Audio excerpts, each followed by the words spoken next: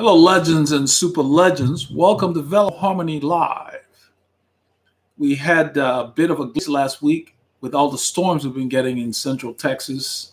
And I had just been talking about it right before it happened. We were disconnected because the lights flickered long enough for the internet service to drop off. So even though I was still powered up, I had no connection.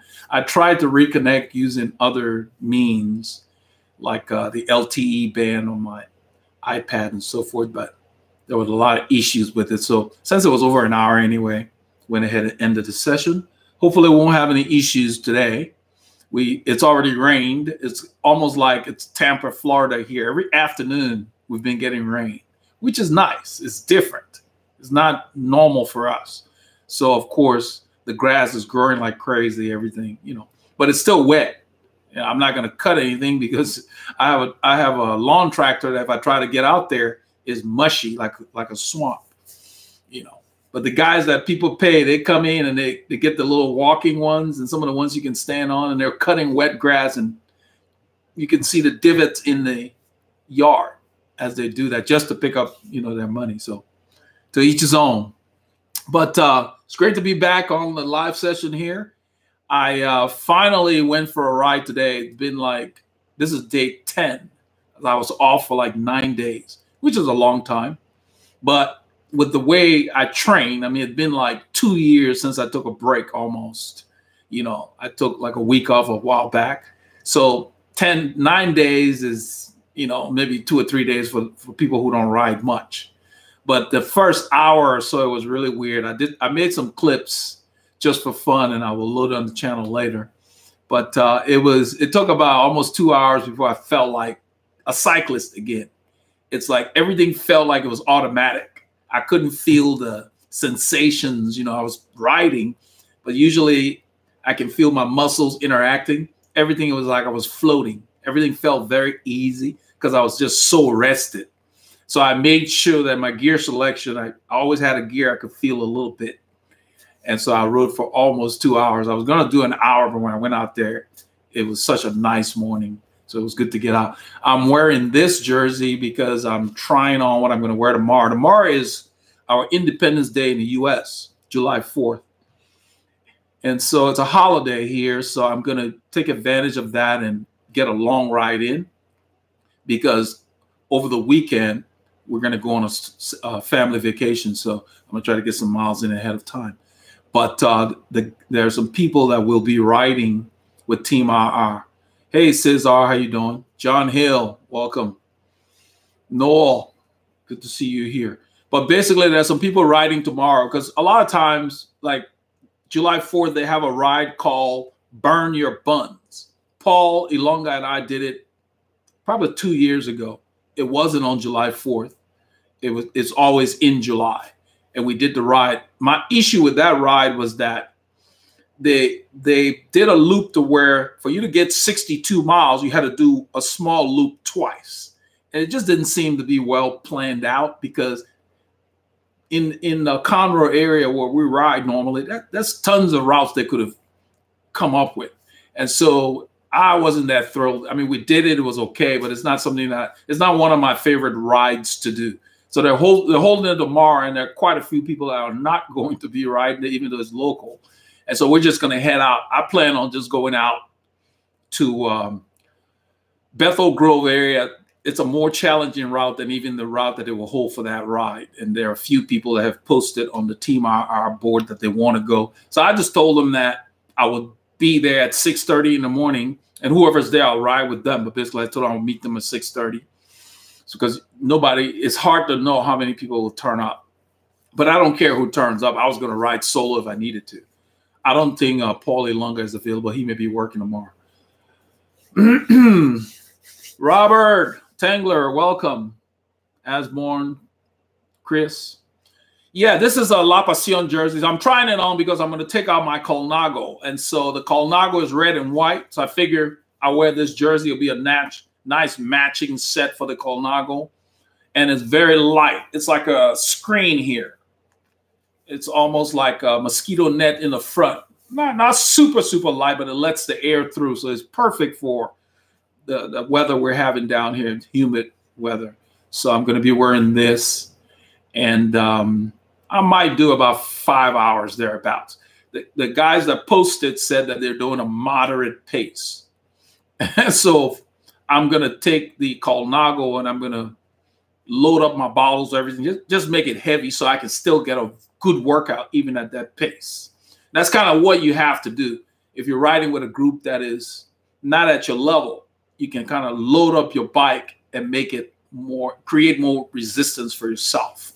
So between that and the gimbal, I may take the gimbal to probably get some shots as well, because you know it is July 4th. And so with all of that, I should I should be probably close to maybe 195 kilos with all the crap I'm going to carry. And so that should give me a good workout. So I'll be able to ride at their pace and still work hard. So that's my goal. Just get a long riding on Thursday today, tomorrow, and ride short Friday and then ride long on Saturday. Because Saturday afternoon, we're heading up to Dallas, Texas to hang out there for about five or six days. So let's see here. Um, USMC 59. I haven't seen you in a long time, man. Good to see you still out there alive and kicking. He said, great review of the Pro Team flyweight jersey. Mine arrives Friday. Yeah, um, protein flyer. I think you're talking about the Aero Block. Yeah, I, I like that jersey. And in the review, I did say that on well, I shouldn't say unfortunately, Rapha does not frequently do aero jerseys that are flyweight. Their aero jerseys are, a cross between their midweight and their lightweight jersey. And it's it's like splitting hairs. It gets very complicated. The reason I pay attention to those details because this time of year it makes a difference what you wear and when you wear it. So if you're gonna wear midweight or something heavier, you got to do it and go out early in the morning because here, even though it's summer, before noon, it's nice. It's like 21, 25 C, you know, 70 to 75, maybe 80. It's still very nice. At about one o'clock or so, it starts heating up. So if you're going to be out there long, you got to wear lighter stuff. That's the reason I'm contemplating wearing this tomorrow. I haven't made a final decision yet. I go through a lot of iterations, try different things. I asked my 10 year old, she said, Oh, it looks nice. So I'll probably wear it a bar. I haven't worn it in a while. It's a La Passione lightweight PSN jersey. But yeah, it's important. The fabrics are not created equal. Uh, Paulie Longa was telling me the last Saturday ride that I did not ride, he was out there with the guys from Team RR, and Dan, the man, was saying it was hot. And Paulie Longa was saying he was comfortable. Well, Dan was hot because the jersey that he described that Dan was wearing, I've seen Dan wear it in the winter. So if you wear something in the winter that works and you're wearing it now, you're gonna be hot because that's even thicker than midweight. The jersey he's wearing, they're not all created equal. You need to at least get the, the different kinds of fabrics you need for where you live or where you're going to ride. Makes a difference keeping your, your core temperature because when you overheat, you can't perform. All of that plays a factor in how long you can tolerate being out there.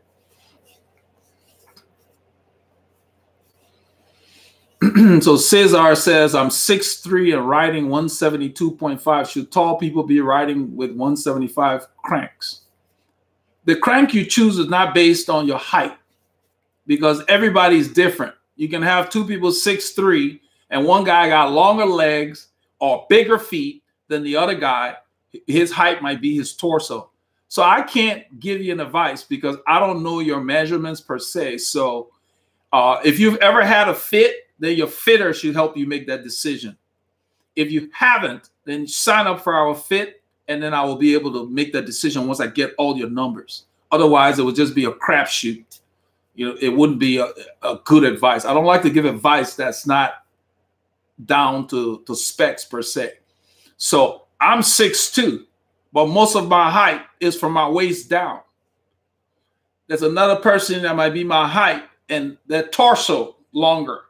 So even the way your bike fits you, you know, the top tube length you need will be different, or if your arms are very long, all of that plays a factor. And so um, that's why I try to tell people, you know, if you're going to spend a lot of money on a bike, make sure you get a bike sizing done so you know the size that works for you. You know what top tubes to look for if you're buying off the shelf. If you're getting a custom bike, it's not that much of an issue because it'll be built for you. But if you're buying off the shelf, then what we do with our bike sizing will let you know, okay, the minimum top tube length that you need to consider is maybe 59 or 60, depending on your height. So when you go shopping, then you'll know because otherwise you get the wrong top tube and then you might not be able to find a stem long enough to make the bike comfortable for you. Because a lot of the frames now there, there might be a 56 and a 56. I, don't know why they do that, you know, because it's rare that people are that proportionate, you know. It's kind of so they try to hedge. They can't judge for everybody. So you have to know what seat tube height and top tube length. And now all of that will play a factor in whether you decide to go with longer cranks has to do with your preference and then the size of your feet and the, the length of your legs, because that's your lever. And it really just comes down to what you prefer. I've ridden 172.5. When I started cycling, they were fine. I've ridden as long as 180. I didn't like them that much. And so I settled on 175 over a long period of time. But you, it's expensive to just be trying cranks. I didn't buy those cranks. I got I had team bikes that came with different cranks and then got to sample them. And so then I settled on 175. So when I get my bikes now, they all have the same 175 because that's just what I like. But I could ride 172.5. But as you change from 172.5 to 175, you got to adjust your saddle height as well because your pedaling cycle circle is different. So there's so much involved. So um, if you've never had a fit, then I can't give you an advice that would be tangible for you to go spend money on. So you need to get a fit first. So if you're going to go to a local fitter, then you ask them that question because then it will set you up and check you and make sure that biomechanically that's going to work for you. Because not just because you're tall, you'll be able to handle 175. There are a lot of tall people that prefer shorter cranks because they can spin it better or easier. So everybody's different. So there's no one rule for anything that will work for everybody. At best, is a guess. Rodolfo Ramirez, welcome, super legend.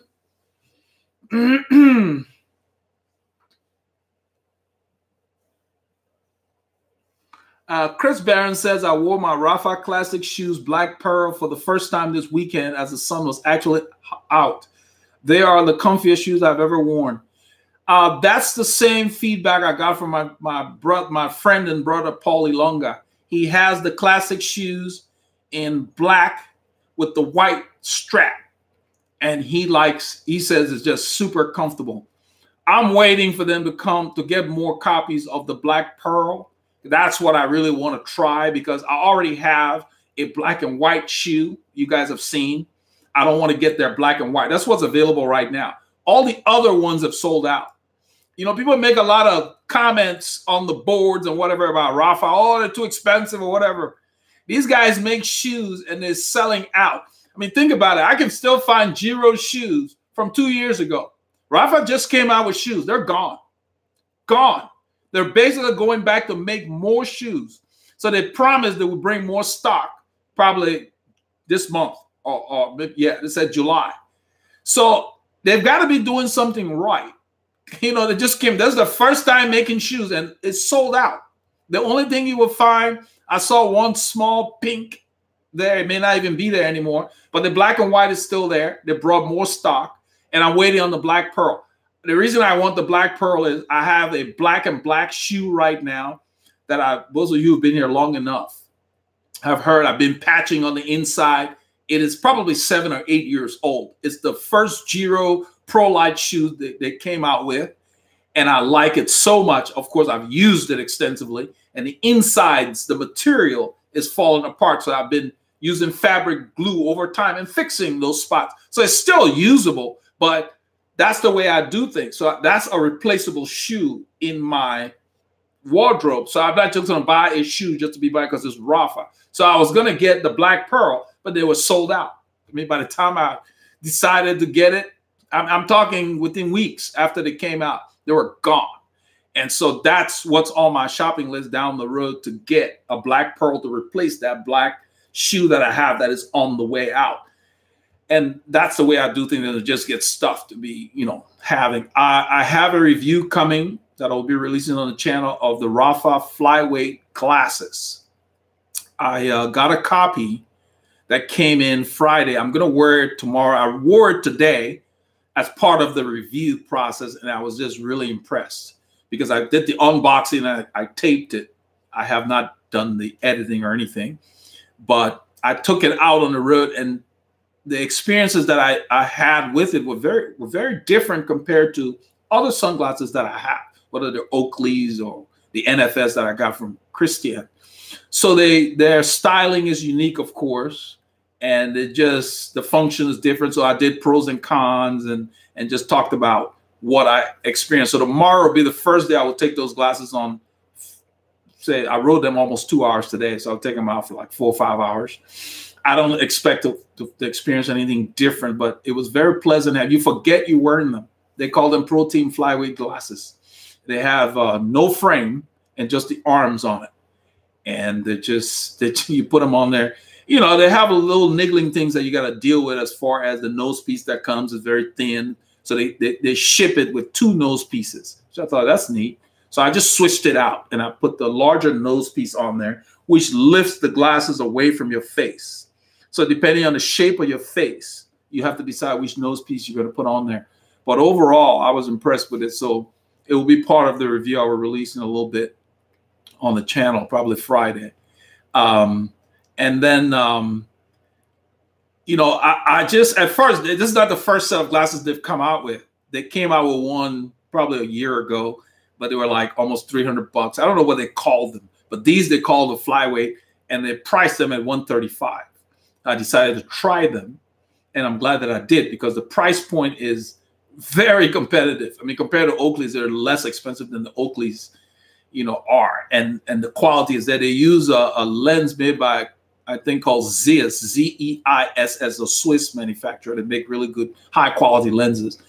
And of course, you know, ultraviolet protection, all of that. It's really, really nice. And so I will release it later. But I'm just impressed with what they're doing. They're coming out with a lot of stuff that just I wish was around when we used to race. I used to spend many more hours on the bike. But it just makes riding so much more comfortable now. You know. Um, let's see here. Um, Michael says, Happy Fourth. Yeah, Fourth of July, man. These people already shooting fireworks all over the place in the neighborhood and stuff. Robert Tangler says he plan, plan on riding while in Dallas. No, I'm not taking my bike. Uh, no, we're just gonna go veg out. No, I'm not taking my bike in Dallas. I've, I've been to Dallas. I know what the routes are, but this is uh, to just hang out with the family, hang out with the girls, hang out with my wife, and we're going with another couple from here that my wife's friends with. And we're just going to go out. We're going to take the girls to Six Flags so they can play around there. And, um, you know, I'm taking my computer and stuff because we're going to be gone for like five days and we're going to go see my mom, my wife's mother before we come back on Friday. So it's just, uh, it's, you know, I mean, I basically, um, even though I'm here, the way I ride, I'm gone all the time. So it's just kind of nice to have a whole week where you know my wife actually gets to see me for a whole week and so the bike stays here to keep the peace but you know i really don't want to take it i'm going to do gym work while i'm there the hotel has a pool and uh, fitness center all of that so the girls like to swim we have them doing swimming lessons here anyway so we're going to do a lot of laps and i'm going to do weight training a lot of leg stuff just to build power because that's a that's a phase of my training I'm in now. So I'm not gonna miss much. I'm gonna spend maybe two days heavy just strength work in the gym. You know, maybe two hours. That's it. And then a lot of times in the pool, you know, because pool, uh, swimming is very good for your aerobic uh, system. But just with the kids doing laps, playing around, you know, just time, just time to hang out. And then that's why I'm riding tomorrow long short on Friday, then long on Saturday before we go. And then um, when, when we come back on Friday, I'll do a short ride out on the trainer or on the road, depending on when we get back. And then ride, get back into it and ride on Saturday. Because the way I ride, even though I, if I take time off, it doesn't take much. You know, the miles are in. When you when you ride a lot, it's in the bank. That's why I tell Paul all the time. It's in the bank. So you can take time off. Doesn't take much to get you get your diesel engine going again. But no, so I'm not carrying the bike. I don't want to go look for routes and all of that. There's a lot of time into that. So we're just going to be hanging. It'll be kind of cool. And so what I will do is next week we'll not have a live session, but I will have I'm going to make some videos to schedule to release on the channel. So there will be the channel will be active and I will be online. And if possible, I mean, I don't know how the week's going to go. I thought about it, but I didn't want to commit to doing a live session. I don't know what their internet speed is at that hotel, even though, you know, it's a nice hotel, but I didn't want to depend on that. But uh, I'd much rather plan to not have the live session and then just release a video next week. And, um, and then, you know, so that the channel's not dark. I don't want the channel to go dark. So we'll have our regular releases. You know, I'm hoping there's enough people that show up tomorrow's ride so I can use that for our Monday release because Saturday's ride, right after I get back, we're going to be heading out. I may not be able to use that, but I have contingencies. Uh, chance favors the prepared mind. So I'm always planning. Let's see here. Alpha Charlie 65 MS says, I ride several bikes.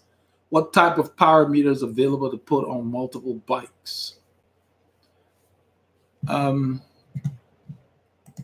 there are all kinds. What I'm going to do here, I'll talk about it a little bit, but I'm going to go ahead and just give you the link to this guy that I use. I like his site. I'm not affiliated with him in any way, shape, or form. He's called DC Rainmaker and uh, you go there and he does full reviews. So you go to his site, here's the link, and just type in the search power meter reviews. He does extensive reviews, but they have power meters, what they call pedal power meters. You know, CycleOps makes one. I think it's called the P1 or something. I don't know what they call them now. And then you've got the uh. I don't know what the name is. Let me see here. There are many pedal power meters out there. And the reason I'm starting with those is a lot of the good ones are easy to switch between bikes because it's just like removing a pedal, like your normal pedal, and switch around. I don't use those because they're all based on something like the look system and the cleat is really small. I like the Shimano platform because it's wider. Uh, those are those are very portable. So start with the pedal power meters. And I, the reason I gave you his site is he does independent reviews. Nobody pays him to do the reviews. When they send him stuff, after he reviews them, he sends them back. So he gives you honest reviews, and he's been doing it for a long time.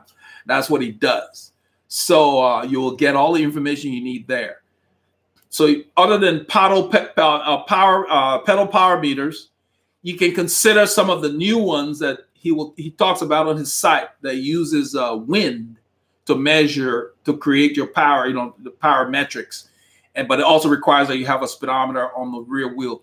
Not the end of the world. So they have many kinds out there. So we'll start with the pedal power meters, or just search on Google and say, you know, uh, portable power pedal meter, uh, pedal meter, you know, power meters. You you will get it because everybody's looking for that. Um, and so, you know, but don't just go buy a power meter now. You need to learn how to use it.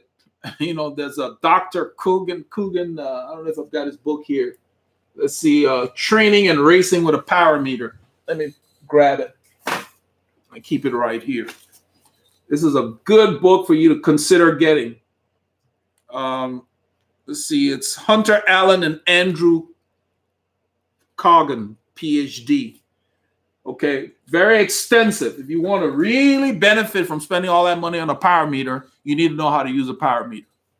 You need to test for your zones and then derive your zones so that you know how you're training and what zone you're in when you're training. Don't just buy a power meter and look at numbers. That won't mean much to you. So I hope this will help you, but that's the site to look for.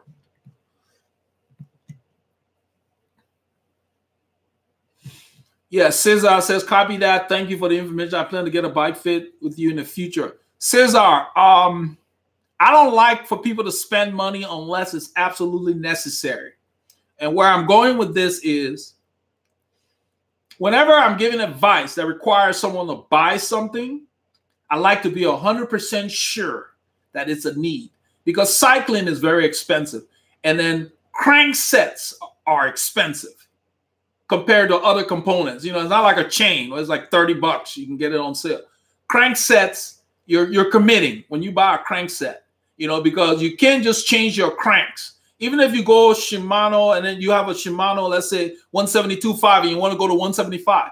When you buy the 175, you need the new bolts and all of that to attach the cranks to all that. And that crank itself, when they're selling it, they don't usually sell it without the chain rings. So you're buying a crank set. And so you're, you're there's an outlay of cash. So I like for people to have a great reason to buy components because um, it's not going to make that significant of a difference. That's why I, I mentioned about preference and so forth. You could put a 172.5 on my bike and I will ride well. The 175s, I've just gotten used to them for many, many years of using them. So I just prefer them. That's it. Doesn't mean you couldn't, I couldn't ride 172.5 and so forth. So I know what you're striving for. You're striving for optimum setup. And I'm into that. I'm into the millimeter stuff. And that's what I mean. So if you if we did a fit and I was like, okay, you know, I can see by the size of your foot, the length of your tibia, so forth, that man, okay, you would probably be better off with 175, give you more leverage and so forth and so on. You know, so and that way you you you think about it and you make that decision. And once you go to 175, you're there. That means anytime you buy a new bike, whatever, you stick with that. It keeps your costs down. You don't want to be dipping and dabbing to try stuff. That that's the biggest thing. That's why I'm very cautious when I give advice that requires an outlay of money. And on this channel, when people talk about upgrades, the first thing I talk about is, hey, you know, best thing for a bike, new wheels. Because it you will feel the difference. You'll feel like, yeah, I spent the money, and yes, as soon as you go on the next ride, you will be able to tell the difference. I hate to buy stuff and you can't really tell. Did it do something? Because nothing's going to make you go faster other than you training and your position. Your position and then your kit. They need to fit you well. Because anything that's flapping is drag. Keep that in mind. So, you know, I see a lot of guys we ride with. I don't say anything, but I see them with nice Zipp wheels, you know, the 404s and all of that. And they got a jersey that's just all over the place. You know, it's just flat. I'm like, man, because your body is the biggest creator of drag. So you need to pay attention to that. There's no point spending money on wheels and then you don't fit your bike so you can generate power or get low enough because you will create more speed by being in the proper position, being comfortable, and driving the pedals, and also cheating the wind that any set of wheels will do for you. I wanted to just put that out there for everybody, not just you. So just be cautious before you spend your money. Do the research. Michael Fernandez, good morning. So uh, let's see here.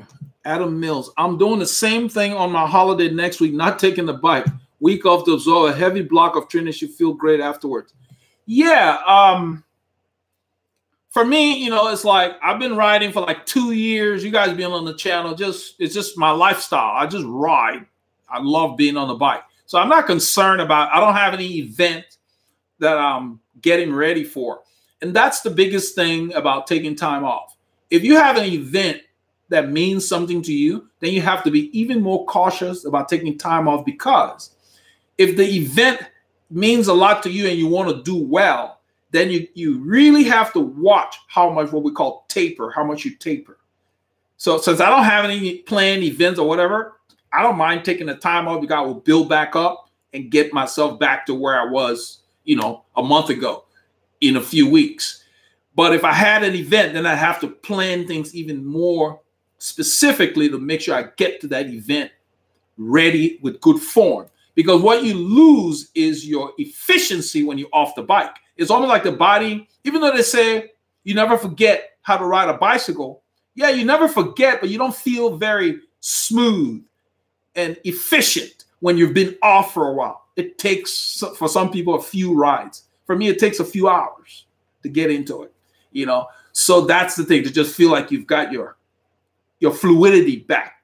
That's that's what you lose, you know. And then uh, if you've been off for too long, your muscles have basically detrained a little bit, so you got to build them back up to where you can tolerate the harder efforts. That's why you don't just get off from rest and go to a hard event. You don't do that. So that's the biggest thing. So I, I made that video so people wouldn't worry about taking time off. It's okay to take time off, but you got to have a plan. So if you have an event, then you got to be careful how you take your time off. You got to give yourself enough time to be ready for your event or take your time off after your event. So everything has to be planned and then you won't you won't really stress about it. Bennett, hello from Oklahoma City. I have learned a lot from your tutorial videos and they have been pretty helpful. So thank you. You're welcome.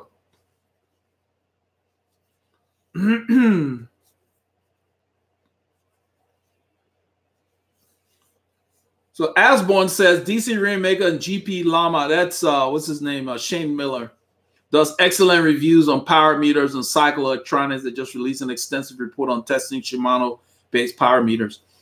Uh, my experience with one power meter was a CycleOps G3. It was unreliable. I know it's out there, it's prevalent, and people know about it. Unreliable in terms of you'd be riding and it would just quit on you. And the fix was take it off the bike, take the wheel off the bike, unscrew the, the hub, the nut, get it off the, the bike, and then there's a little cap. You you get into the battery compartment, take the battery out, put it back in. That's like resetting it and I, it ended up every 10 days I had to do that. So yeah, I listed it on eBay, explained everything. Some guy who knew about it bought it. I was like, done. You know, I'm, you know, when I do, if I do get another power meter, it needs to be reliable. I don't want to be hassling with it. I want to just go right. It's just, it's a measuring tool. So if it's not working, then what's the point of me spending the money on it? I've coached a lot of people that bought the stages power meter and they were breaking all the time. You know, it's like, so the guy couldn't use it and he spent a lot of money on it. Granted, they have good warranty or whatever, their support or whatever, but you still got to wait for them to send you a new one. You know, just a lot of downtime. It probably doesn't apply to all of them. I mean, there's no perfect, you're manufacturing things, you're going to have defects. But just be aware of that. Don't get dependent on that. That's why I keep telling people you still need to pay attention to feel, even when you train with those things. I know how hard I'm going. I don't need a power meter to tell me. I don't care to see how many watts I'm going. You know, either you can get up that hill or whatever's going on at that time when everybody's powering, or you can't. Doesn't matter what your power meter says. So don't get hung up on that. And uh, the prices are coming down because there's more competition, especially among the pedal power meters. There's quite a few. I'm waiting for somebody to develop a pedal power meter that uses the Shimano platform. I don't know why they haven't done that. For some reason, you know, oh, Shimano needs to do one because I'm not changing the platform I prefer just to get wattage on my display. so, Jamal, welcome, man. I want to thank all my patrons. I thank all of you guys. It's July 4th coming up tomorrow. Ian, welcome. Tom Nix from Austria. So Alex Lencioni, says, Good morning. I haven't ridden for about two weeks, so that would mean I would have to get back into it slowly, build up my fitness. Would that be right? yeah, I mean, you you you two weeks, depending on what you've been doing before or what you're planning to do. It really doesn't matter how long you've been off. What you need to pay attention to is how you feel when you get back into it. And I talked about it a little earlier before you got here, Alex if you have an event planned, then it puts a lot of pressure on you when you've been off. Okay? Because it takes a minimum amount of time for the body to get back. Even Greg LeMond in his book, he said, if you take off a week, you need three weeks to get back. What he means is to get back to that level of fitness you were, depending on what kind of training you were doing. Okay? So, he, and he was thinking, in, his book was geared towards competitive stuff for the for the most part. So you've been training and you're really fit. When you take off a week, you need to give yourself three weeks. What he means is so you don't kill yourself, meaning you take the three weeks and you build back up. So for you, Alex, just go out and ride. When I ran out the ride today, no heart rate monitor, no nothing. I just went out on the bike. I just had the clock, not time, because I wanted to go for an hour and a half. That was it. I just went out and rode. And it was beautiful. I took my camera with me, not with the gimbal, but just on a stick. And I filmed the lakes and so forth. It was just nice. Just go out and enjoy the bike. So that's what you want to do, Alex. Start and just go and enjoy the bike. And the reason I'm saying that is when you take time off, it's hard to get back into it. Let's just be for real. Sometimes you need to be pushed. Sometimes you need something to get you out the door. Okay? It's not easy. So you have to be really disciplined and have a strong mind. For some people, they need like a partner to get them out or whatever. It, it's not the same for everybody. So you don't want to be concerned about, oh, well, you know, I was going well two weeks ago. Just go and ride and see how you feel and just spin and enjoy the sights and sounds of being out there because that's really what it's about. On that first ride, just go out and ride, see how you feel. And so when you say start slowly, I don't want to say that. All I'm saying is don't go out there and start doing intervals if that's what you were doing two weeks ago. Just go ride your bike. Just just just use the gears that you can handle for the for the for the conditions. Just go out, enjoy your bike, keep your cadence up, and take in the sights and sounds. You'll know when it's time to edge it up. You know, so give yourself, if you've been off two weeks, and let's say you were training for an event or you are a high fitness level, give yourself six weeks, three times as much. It doesn't mean that for six weeks you're going to be going slow. When I say give yourself six weeks, what I'm saying is you have six weeks now to allow your body to get back into the swing of things. And you will decide whether week two you're going to push or not, or week three or whatever. That's what I'm saying. Because if you give yourself three times as much time, then there's no pressure on you. Especially if you don't have an event coming up that you're going to go do. And even if you did have a ride coming up and life happened and you missed two weeks of training, and let's say you missed two weeks of training and the ride is this week, don't ride that ride very hard. See how you feel when you get there. And then before you decide if you want to push or not. Always listen to your body, even when you're in top condition, even when you're ready to race, even during a race where you've trained for, you still have to listen to yourself if you decide how hard to go at a particular time. Because during a race, there ebbs and flows. That sometimes you'll feel bad early and feel great later. Sometimes you feel great early in a race and feel bad later. I don't know if uh, you I've mentioned on this channel here in Greg LeMond's book because I followed Greg LeMond when I was competing. He was one of the reasons I got into cycling seriously. Uh, he said he did a world championship race where he actually won the world the last world championship he won in 1989. He said he almost quit the race because he was feeling so bad early in the race, and then he stayed. You, you guys know that he had an accident there were pellets in his body and they affected his muscles. You know, he, he basically has lead poisoning because they could not get all of the pellets out of him. And he didn't know at the time how it was affecting him. So his performance was kind of up and down, you know, in the, the late 80s and so forth. He wasn't like the, the LeMond uh, when he was when he was uh, like in 86 and so forth. So after that accident, it affected everything. But he said that at the 89 championships, early he almost quit and he ended up winning the race because he felt better in the last hour. Now we're talking about a six hour race. So I'm using that example to let you know that psychologically, tell yourself that if I miss a week, I need three weeks before I start hammering. That will give you two weeks to just move in gradually with your efforts. That's what I mean. So don't don't try to nail it down too much. Don't try to worry about oh start slowly. No, start with whatever you can handle because my slow is different than your slow. You know, I wrote today, I was riding at 17, 18 miles an hour. I've been off nine days and I'm riding 17, 18 miles an hour. Now, that's not really a training metric. The wind was not that difficult. The terrain was flat, just spinning around. But the point I'm making is it's different for everybody. All I focused on was making sure I could feel the gear and I was not lugging. That's the same thing with you. Find a gear you can handle and go out there and enjoy the bike and, and ease back into it. You've been off two weeks, give yourself at least two weeks to see how you feel. Then you start ramping up. Use that as a guide. Marcellus. Marcellus says, uh, since I've been watching your channel, I've learned a lot, especially increasing my cadence for more speed and my anaerobic ability. You're welcome. Yeah, um, cadence is important because Speed is cadence maintained for any distance. As soon as your cadence go down, goes down, your speed will drop unless you increase the gear.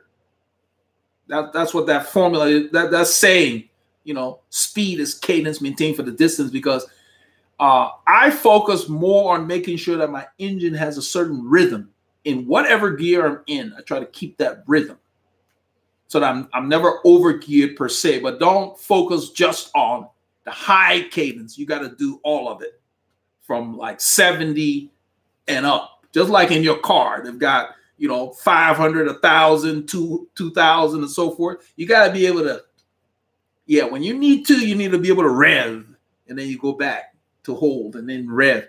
That's that's how you respond to changes in speed or to get through a red light if you're on the way to work or wherever, you know and and just being able to accelerate without looking like you're thrashing all over the bike that comes from that's what we do here that's what the training and the bike fit and all of that to where you're riding and you're moving but you don't really look like you're going fast people see you moving but you're not all over the bike you smooth that's what they call uh,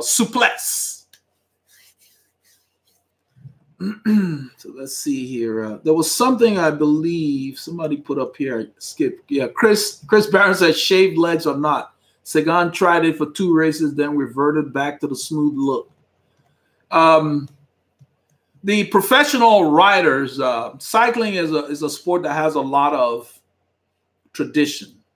Uh, when Greg LeMond went to Europe to race, he said they would be sitting around eating a lot of cheese and you know they ate pasta but they ate a lot of cheese he liked ice cream you know he's from california wherever nevada and they they frowned on that and his issue was you guys sitting around eating all this cheese you're talking about you know ice cream because when you leave where you live to go to another culture to compete i think it's harder on you because you, you leave familiar surroundings and you leave the foods you're comfortable with the weather you're used to so I, I give the, the riders that leave other countries to go compete elsewhere more credit because you're dealing with a lot more. Just a language barrier, you know. I mean, over time he learned he, he's fluent in French, you know, but just that alone is a challenge. And so it's kind of like shaving legs. They they they do it they, they do it for like I guess what you said the worst possible reason. If you crash, then you don't have hair in the wound or whatever. But the main reason I started doing it when I competed was because of the massages. We, we used to get a lot of deep tissue massages, which made a big difference in getting the toxins out of the, the muscles so that you can ride hard the next day. And if you do that with, with hair on your leg, the follicles, uh, they're a pain. I mean, it's just a pain. And so it's just better to keep your legs smooth. But shaving's a drag. you know, I you know I don't know how the women do it. Shaving your legs is drag. And you know, I used to try like they, they have this thing called Nair and all that stuff that's supposed to remove it. Just never worked. For some reason, I guess the hair on your legs.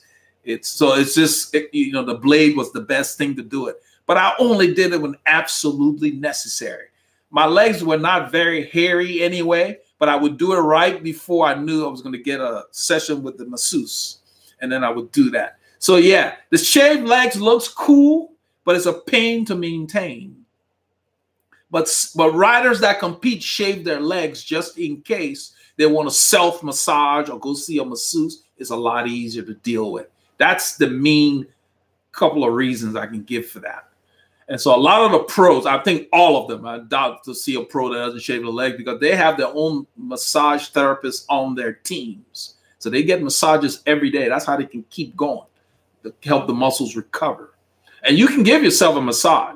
You can lie on the bed and just massage towards your heart and just flush the stuff out of your, your the legs. That's what makes your leg tight, the toxins that get in there when you're riding the big gears.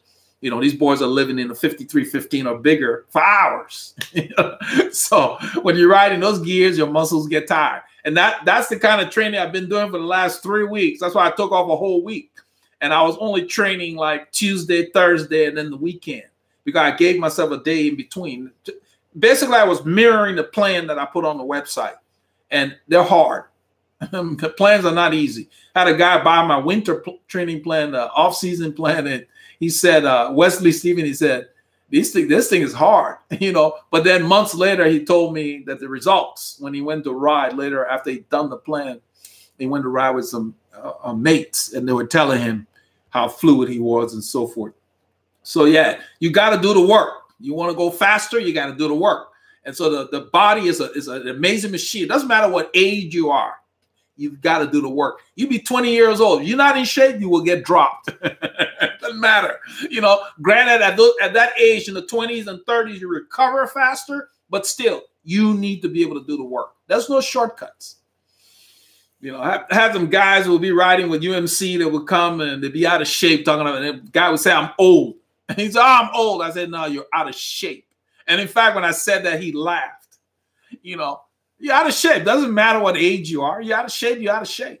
You know, you can you can be a 20 year old a big gut if you sit around drinking beer and doing stuff. So yeah, but uh, the shaved legs look cool. Don't get me wrong, but they're a pain to maintain. so I only do them when I'm absolutely uh, uh, at the point where I got a lot of hair and I want to do a self massage or something because really I don't grow a lot of hair on my legs anyway but uh, some some riders do. There's a guy that rides with a duck shot. He doesn't shave, and his hair is very long.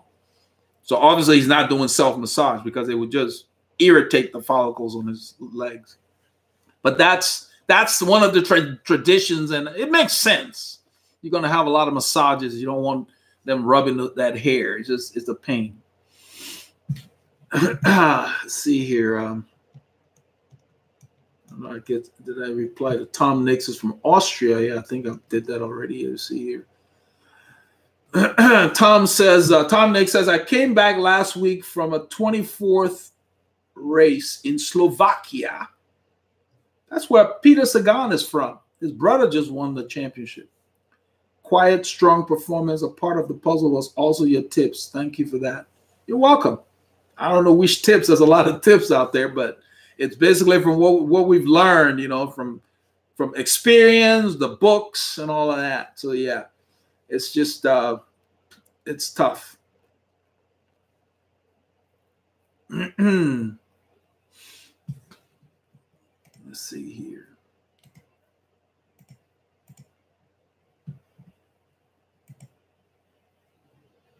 All right. Top three bikes recommended for a budget of 750 to 1250. I'm laughing because uh, that that's a that's a that's a moving question there. Um, it's hard for me to do that. What I would suggest you do is just go online and look. But uh, you're starting a search. I think uh, you're too far ahead. So the question would be, what size bikes fit you? So have you gotten a bike sizing done to know what size bikes you're shopping for before you start looking? Because the reason that is important is depending on what seat angle you need based on your body proportion, you may be limited to certain manufacturers. Like, for example, uh, say Cannondale. Cannondale has really generous top tube lengths.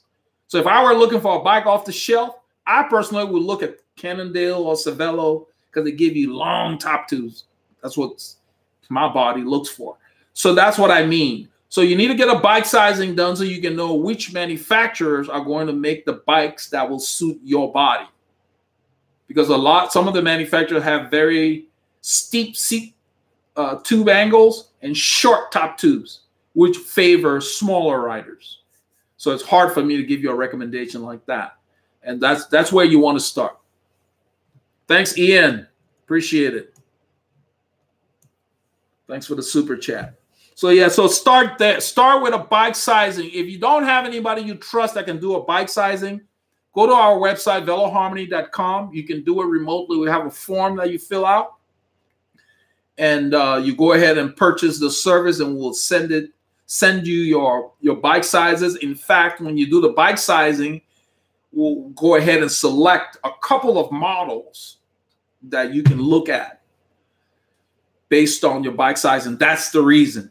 You don't want to just go and look for bikes. You got to kind of know what seat tube angle, you know, that you're looking for. Because the height is not that big a deal, it's the angle.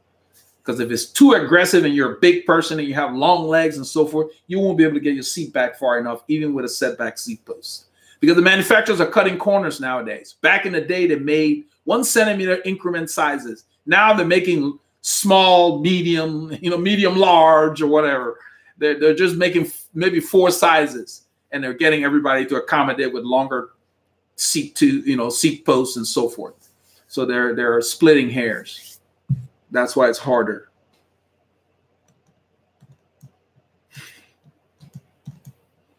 You don't yeah you don't want to be limited to uh i see asbon said whatever your local bike shop have. I, am not sure i guess i don't know he was answering that. You don't want to be limited to what the bike shop is carrying. You want to pretty much look for because you have options now. You don't have to buy from the local bike shop if you especially if you want to take your time because hopefully you're not buying a frame all the time. So that's a major purchase. Two of my bikes are custom built and then one is a bike i've always wanted the Colnago so I, I take my time when I'm buying frames. It's not like buying other things that you buy all the time. So you want to really take your time and be done. Get a good frame that you can always put nicer wheels on and so forth and keep it for years to come. That that's a good way. And and you can get that range if I were shopping in that range because my steel frame cost about probably let's see 2000 US so 1250, if you knew what what angles and everything you got a bike sizing, you wouldn't have to buy from the bike shop. You could go on eBay. There's a lot of people that buy bikes, sit in the house forever for whatever reason, never used it. You know, Paul Yalonga bought a bike practically brand new for some guy, the white Cervelo, that he'd never used. And his wife told him, you need to sell it if you're not going to use it. And Paul came across that. So you, you don't have to buy a bike off the shelf, but the key is know what you want then you can look for it and get bargain because used bikes cost a lot less because it's a, it's a small market depending on the size of the frame, how many people are going to fit that frame. And eBay is a great place to look for frames because you'll get really good deals. You can get a complete bike in that range depending on what you're looking for. So start with your sizing first. You can't go wrong with that. That's very important. And because when you go on eBay, a lot of them will list the bike, then they don't tell you what the seat angle is and all of that. So you end up sending questions. I don't know why you would want to sell a bicycle on eBay and not put the specs for the frame there. Some people do, but most of them don't. They just put the thing there and expect you to go look it up from the manufacturers, you know, because they put the, the model and so forth. And you can, you can look it up online. But that's very important and a lot of people who are not in the sport per se don't understand the significance of seat angles. Because if that if that bike doesn't have the right angle for you, you're not going to be able to fit it. you know, if you can't, if it's too far forward for a big guy, then he can't get that saddle back far enough to sit where his body should be. If it's too far back for a little guy, they can't push it far enough. They run out of seat uh, uh, uh railing even with and some people end up turning the seat around something funky like that so yeah if they're stuck with the frame so all of that plays a factor that's the reason why you must start with your sizing it's very important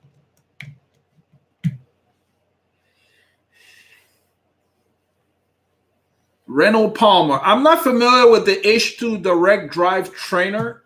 Uh, Renault, let me see if I can pull it up here. I have a uh, what I what they call a dumb trainer per se, which works fine. I don't get a lot of complicated cycling stuff because once they start putting a lot of stuff on it, it has more things to break. I have a limited amount of time to ride my bike. I don't have time for electronic troubleshooting. so let's see what this uh, review and and that that site with uh, DC Rainmaker also would apply to you too. He's a good he's into the electronics. He reviews all this stuff. That's why I go there because he he thinks like I do. If you know his attitude is like, if you're going to sell it for a lot of dollars, it should just work. I shouldn't have to hassle with it. you know, because I've got a I've got a, a, a Super Magneto Pro trainer I've had for like five years, I think now. I mean, it's at the point where there's a groove where the tire is on the little uh, roller there. There's a groove in the aluminum, but it just works. So why would I pay more money for something that breaks because it's got electronic stuff on it? That just seems illogical. You know, if I'm going to be paying more, it should just work, like the like the less expensive one. So let's see here. Uh, CycleOps H2 Direct Trainer. Quiet Drive Performance. Let me just do a review. There we go. Let's see what uh, it's got good ratings on here. Clever Training. So you can get it from Clever Training. It's one of those where I guess you you just take off the wheel and put your chain on it. I'll put the yeah. Trainer Okay, so there is a review. Let me let me put the link here for you. This is the best place to get your information. I don't I don't know the guy like I said earlier, but you know, good is good. The guy's good. That's what you need right there, Reno. Click on that link. Everything you want to know about there is on this guy's site. Hey, Paul Ilonga is here. so Alice Lane is asking, do I have much experience with gravel bikes or so? What's your thoughts on them? Um, I haven't owned a gravel bike per se, but I used to do a lot of mountain biking and we rode them everywhere. It's it's just uh, it depends on uh, what you're looking for. They're just as good. It's just a, a bike for a different purpose per, per se. A gravel bike allows you to use bigger tires, let's say 35C, easy, because they give you enough clearance. And then obviously, if you're going to be riding gravel roads and so forth, nowadays you probably want to put discs on there because you'll be dealing with mud and so forth. But uh, there's not much uh, to say about the bike itself other than the fact that if you're looking for a gravel bike because you want to do gravel riding, they're all pretty good. You just need to make sure, like I told the other person earlier, that you know your size because it needs to fit you. Not because it's a gravel bike, you can just go grab a gravel bike. It needs to fit you, otherwise you won't have a lot of fun with it. And so get one that's in your budget, and um, you're good to go. Because the only thing that that distinguishes it from a road bike per se are the components that they put on there, and the fact that the frame has more clearances for you to carry bigger tires when you're on gravel, bigger tires are your friend. They just you have better uh, traction. They just ride better. The little tires we have is best for for the, the surfaces that we ride on on the road. And and the gravel experience, I think, is really neat in that you're not relegated just to the road. You can still ride them on the road, but then you can do more exploration off road. So a lot of people ride even their mountain bikes on and off road. So just keep that in mind. Some people use their mountain bikes on gravel. So you don't have to go buy a gravel bike. If you want to ride gravel roads, you can get a mountain bike if you have access to it. Don't feel like you have to buy a gravel bike. Just keep that in mind. Okay? They're great. They're great for that purpose.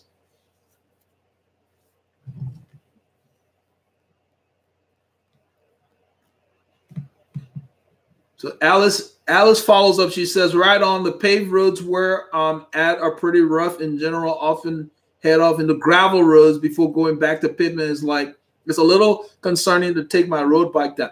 Yeah, we we we run into the same thing. Paul and I we have some roads that we've ventured on, and it ended up being a little gravelly. Now for us, we've ridden on gravel road with our road bikes, but they were hard packed gravel because even one time we went on an excursion where there was a lot of sand, and you can't ride a road bike in sand with these little 25C tires and so forth. It just digs in. And so we ended up walking for like three miles that day and then coming to gravel with a lot of rocks just hard, stuck in the, the, the dirt and then finally pavement. So if you have a lot of that, you can use a mountain bike or you can use a gravel bike per se. The reason why I keep bringing up mountain bike, people think that mountain bikes are only for trails. No, you get a mountain bike, it's got to fit you too. And then there are riders that will ride their mountain bike on the road, and because they have a tire that is for on and off road, and of course the tire is bigger, you can ride in sand and different things. So it gives you a lot more flexibility. If I had to choose another bike for this kind of purpose, I would probably pick a mountain bike per se because you could do like even Christian uses his mountain bike to do cyclocross racing in the fall around here. So you need a bike that you will get a lot of use of. Don't try to buy something for one specific purpose for what you just described. We have the same situation. So you could do you could get a gravel bike and then use it on the road and so forth and carry it there. But I think that if you also have trails where you live, Alice, then you'd be better off getting the mountain bike and then choose what tires you put on it because the tires will give you more flexibility. You could put on the knobbies when you're just on the trail and in the dirt, or you could put on the ones that will let you ride on and off road. You can even do a group ride on a mountain bike. So I think it's more flexible. That's more flexibility there, you know. Yeah, it was. Yeah, well, riding the sand, we almost fell a few times. In fact, I kept one leg unclipped, and I would just push, push, push. Paul saying was dangerous right because the sand, you never knew when it would just grab your wheel and it just sucks it down. It's like you stop and you can flip over. So it was just, it was kind of messy, but we got through it.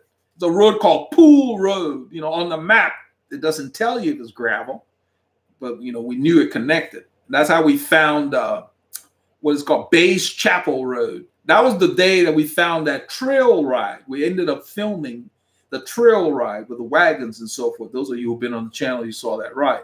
So what you're describing is great. I mean, if I were to get another bike, I would be getting something that would allow me that flexibility. Start on the road, gravel comes, no big deal. You know, because on gravel roads, you don't have to deal with cars that much. You know? so that's kind of cool. Or the, on the trail, you know, you can make your own trail. You can ride in the woods with a mountain bike. So I think it would be kind of cool, you know and and I have seen people that will do a group ride on a mountain bike. There's a guy I was riding with UMC a long time ago named Bob. He met them actually while he was out riding his mountain bike and kept up with them.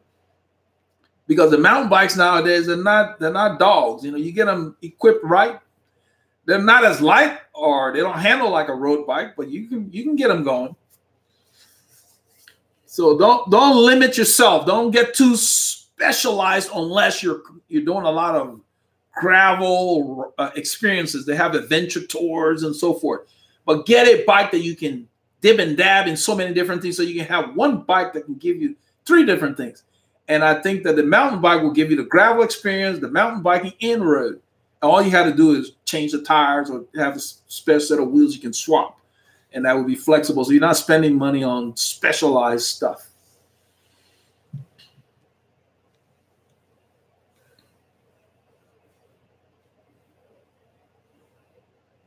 So Alice says that uh, I've got to get a better mountain bike. I bought one from Walmart a few months back, and that got me back into cycling. now I'm delving deeper in the. Yeah, the, the bikes at Walmart. Um, the biggest thing with them is they the, the tubing. They're they're heavy. Even the bikes I got for my girls, they're single butted. They're, they're pretty heavy for, for, for the little bikes. When I pick up their bikes, it's heavier than my bike, and so that's the biggest thing. So when you're starting to talk about serious writing, you want to get the, the, you don't need to get the crazy thing, all this crazy suspension, all that stuff. That's where the prices start going crazy. And if you know your size, you can always get used. There's nothing wrong with it. There's a lot of good used bikes out there. People get tired of their bikes. Some people buy upgrades and they still have their frame. They just want to unload it.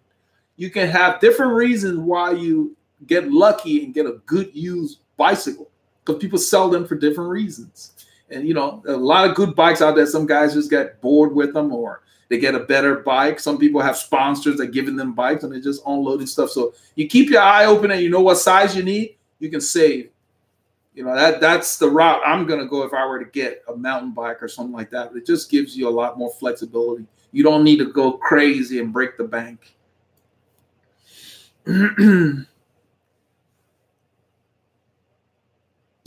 Paul said, I miss those days. Now it's all business exploring used to be fun. Yeah, we'll explore again, man. We'll explore the, you know, the, we don't have to do group rides all the time. We'll do different things. We went to BDS. I like that time. uh, yeah, Alice, if you're rural, I would recommend you get a mountain bike. If you get a good mountain bike that don't need a whole lot of uh, repair. Just take care of it and learn how to do some of the minor stuff. But for the most part, that would be good. So you don't need a bike shop per se. Just learn how to do your own stuff. You know. Hey, Psycho, Psycho Warrior joined us. So yeah, keep that in mind. You don't need to break the bank. But if you're gonna ride seriously though, save a little bit of money, maybe even though you're rural, look on eBay. But get your get a size, know what size bike fits you before you go and shop and you can get More bike for the buck buying on eBay than any bike shop. Because, you know, that's just the way it is. The used market's better.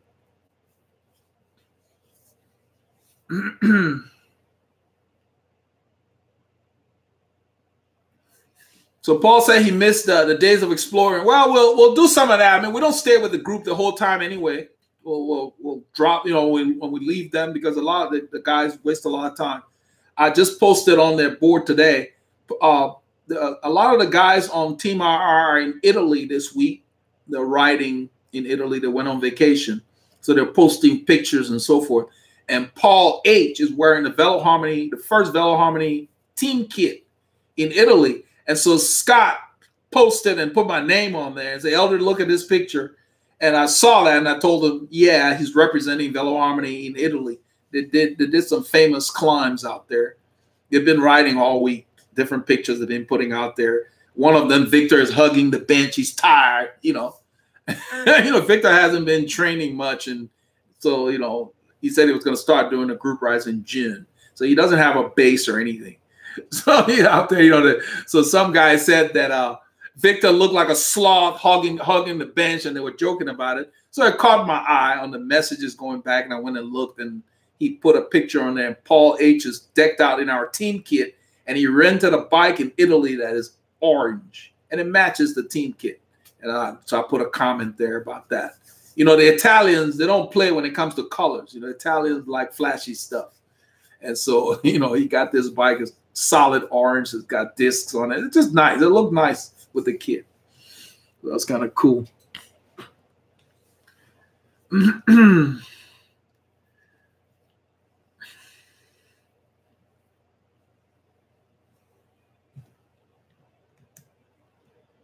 So we kind of like, uh, let's see here. So 20, uh, Sitting Bull says, what do you think about 26er versus 29er wheels? I, you know, it's just it's a matter of preference. I just ride 700C wheels because I try to keep it consistent. Um,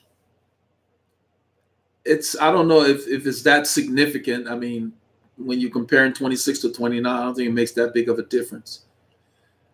You want to be consistent in your equipment because it's easier to share if you have multiple frames. You know, so a lot of uh, small riders will use smaller circumference wheels, you know, sometimes.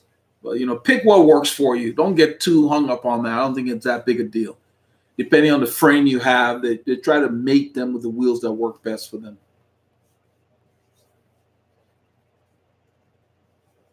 So Alice says where she lives, there are no local bike shops. But someone suggested that some of the bike shops have bikes on consignment.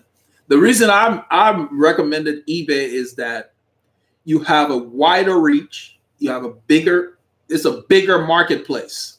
So there are more deals than you'll find in a bike shop. So if you're really serious and you know you need to know what you're looking for, don't blame the people because they're just going to list the bikes and put the model. Some of them don't even give you the size of the frame. You got to send questions back and forth. So you really have to know what you're looking for. And once you find, you can find deals, but you got to do a little bit of work. Some sellers are better. They'll put like the charts and everything, but not not not not all of them. So quite a few of them just put the frame out there, put the name. They figure you'll look it up yourself. But you have so much more to choose from. That's a good route to go if you know what you're looking for. You get really good deals, and some of them will let you make offers. They'll tell you best offer or whatever. And if there's not a lot of activity on there, sometimes you can you can get a, a good deal. So uh, let's see. Elect 72, he says, I need advice. I live in Florida, flat, flat place. We got him here too. Southwest Houston is just like Florida. he said, How can I improve in the hills? Because no time for Google to hills training for training. Okay, I guess meaning to look for hill training. you you you've got you've got something perfect in Florida for hill training, which we have here too. You're by the coast. Remember, we share the Gulf of Mexico, depending on where you are in Florida. Ride into the wind. That's just like climbing. Find stiff breeze and ride into it. Get at least an hour. That's climbing. And get a tempo. Keep your cadence 75 to 95, whatever you're comfortable with, and ride into the wind. That's what the Dutch do. You know, you know, Netherlands is like at or below sea level, and they've turned out some great climbers. Not everybody travels to climb all the time, so you don't need to go anywhere. Simulate the hill climbing in the wind, and then get a program. If you want to get better, I assume I hope you have a plan because you need to have a program to know how hard to go, how many times to go, and when to rest, and all that. Because training is work and rest that's the problem. People just ride and they have a great ride and they're like, oh, I got to go again. and before they've rested, they want to go again. So the next day's performance is here. you know, and so you got to make sure you you're getting enough rest. But you need a plan. And yes, you use the wind. That's what you have. You use that. We use it here too. We have a lot of wind here.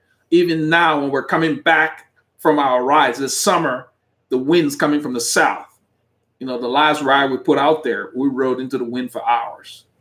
That's that's climbing. Because it's resistance. That's all it is. Resistance. So and then if you got a trainer, a lot of the trainer have like a setting with higher resistance. You can simulate that indoors too. It's not as exciting as being outside, but you've got that. You don't have to go anywhere. So I think what you need is a plan that you believe in so you can track your improvement.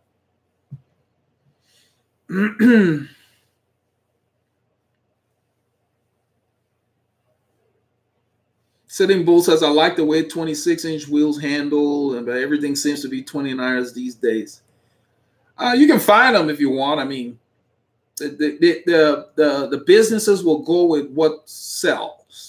If you're if you're running a business, you're not going to find an obscure product to put on the shelf because it will collect dust. So they have a tendency to put what moves. But if you want a 26er, you, you request that, they'll order it for you, or you can look online, you'll find it. That That's the key. A lot of people come on the channel and say, oh, uh, nowadays everything is discs. That is not so. I don't know where they're going and finding everything discs. Yeah, if you go to the bike shop and that's all they're ordering, yeah. But if you want to order a bike and they give you a choice, whether you want disc or not, you know, so not everything is disc because there are people that don't care to put disc on their road bike. You know, I'm talking about the road bike stuff. So just keep that in mind that the local people have to make a decision. Kind of like when you go to Walmart, they decide what they're going to stock. That's not everything that's out there, but they're looking at what's moving. And they have professional buyers that they hire to monitor what's moving. So they decide what products to bring and what flavors of the products to bring, you know, so forth and so on. They have to make those decisions and then they monitor if something's not moving, then they're not going to get more of that. So you're kind of limited to what they choose to carry. So when you're looking for specialized stuff that you prefer, then you just do a special order or look online. Have more choices. I buy very few things locally. I get everything online. So you're looking for unique stuff, that's the way to go. oh yeah, uh, you got to check that. Go to it's all there. They put it there today. Paul H's picture. He's wearing a full Velo Harmony kit, and he's got an orange frame. And somebody took a picture of him. And then there's another picture where they they did a group photo, and you can see the the kit. So yeah, they they, they just they had just gotten through climbing today.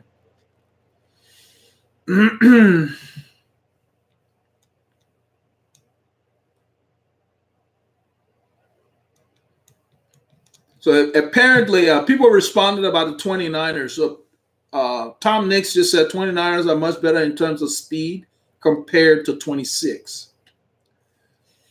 Um, some people just prefer the smaller circumference wheels, and if you do, worry about it. But as far as rolling, you know, maybe they don't roll the same, but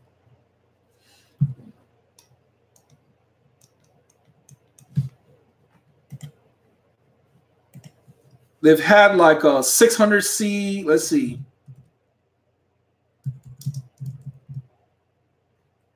The 600C wheel set was popular back in the day, but then 700 is the rave now.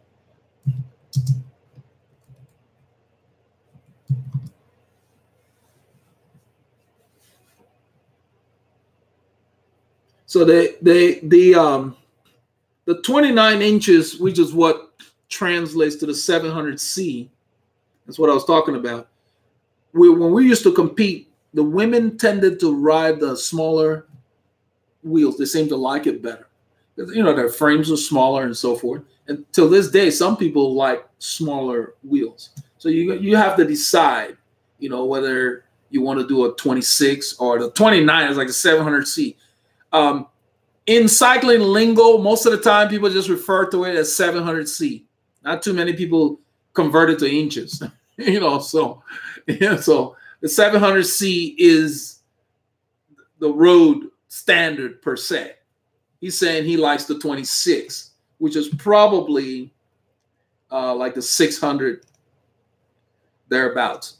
So for smaller riders, some smaller riders prefer the smaller circumference wheels, but I like to get what's out there. Like if you're doing a Gran Fondo or whatever, you want to get with standard. So if you need help from neutral support or somebody, you've got wheels that can easily be swapped and so forth. But a lot of frames that are smaller, sometimes they'll design them, especially a custom frame, to, to work with a, you know, 26er or whatever but it, it's I don't you know I've never ridden the smaller wheels. All the bikes I have came with 700C, which is the 29er he's talking about. They just roll better. So I've never had a need to try something different.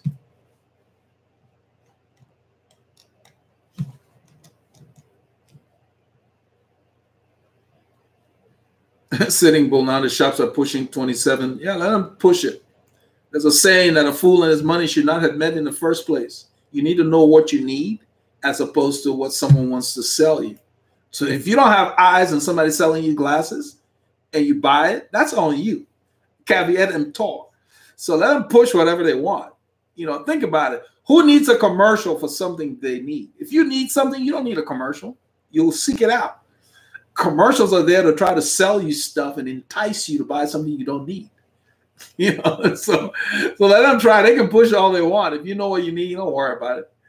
You know, how many wheels do you really need? You know, spare set and one on your bike. You're done. You're ready to go. You know, you're good to go. So no, they they're running a business and it's marketing. I'm not sure what a 27.5 is, but please. You want to standardize as much as possible so it's easy to sell it to someone else or easy to, you know, get it replaced or get a spare and so forth. Jeffrey Davis showed up. Welcome, Jeffrey. We're wrapping up uh, for this July 4th coming tomorrow. So uh, I finally got the ride today after nine days off. The bike felt foreign for the first hour, and then after that, it was back to the same old, same old. But um, going to be riding tomorrow. It's a holiday. Try to get some K's in. Let's see here. Psycho Warrior. Oh, Daryl Shanks. Daryl, welcome, Super Legend.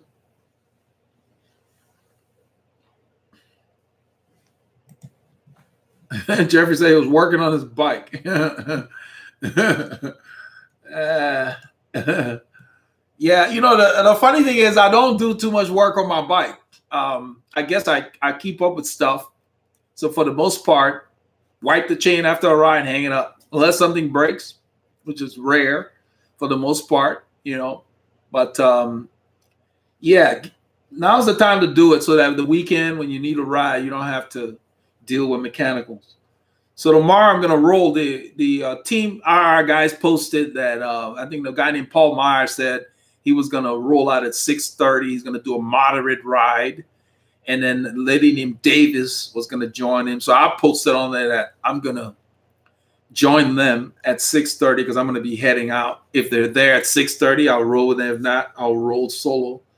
But um, just to get a ride in, I'm taking the Colnago loading up my pockets with all kinds of stuff. I want to work a little harder than they ride. They, they usually ride 15, 17, I guess, depending on the conditions. But when he says moderate ride, it's hard to gauge what a moderate ride is because when we're riding, a lot of times he wants to hold his own pace and he, he's not able to stay with the group. So I think it will be a, a slower pace than I'm used to.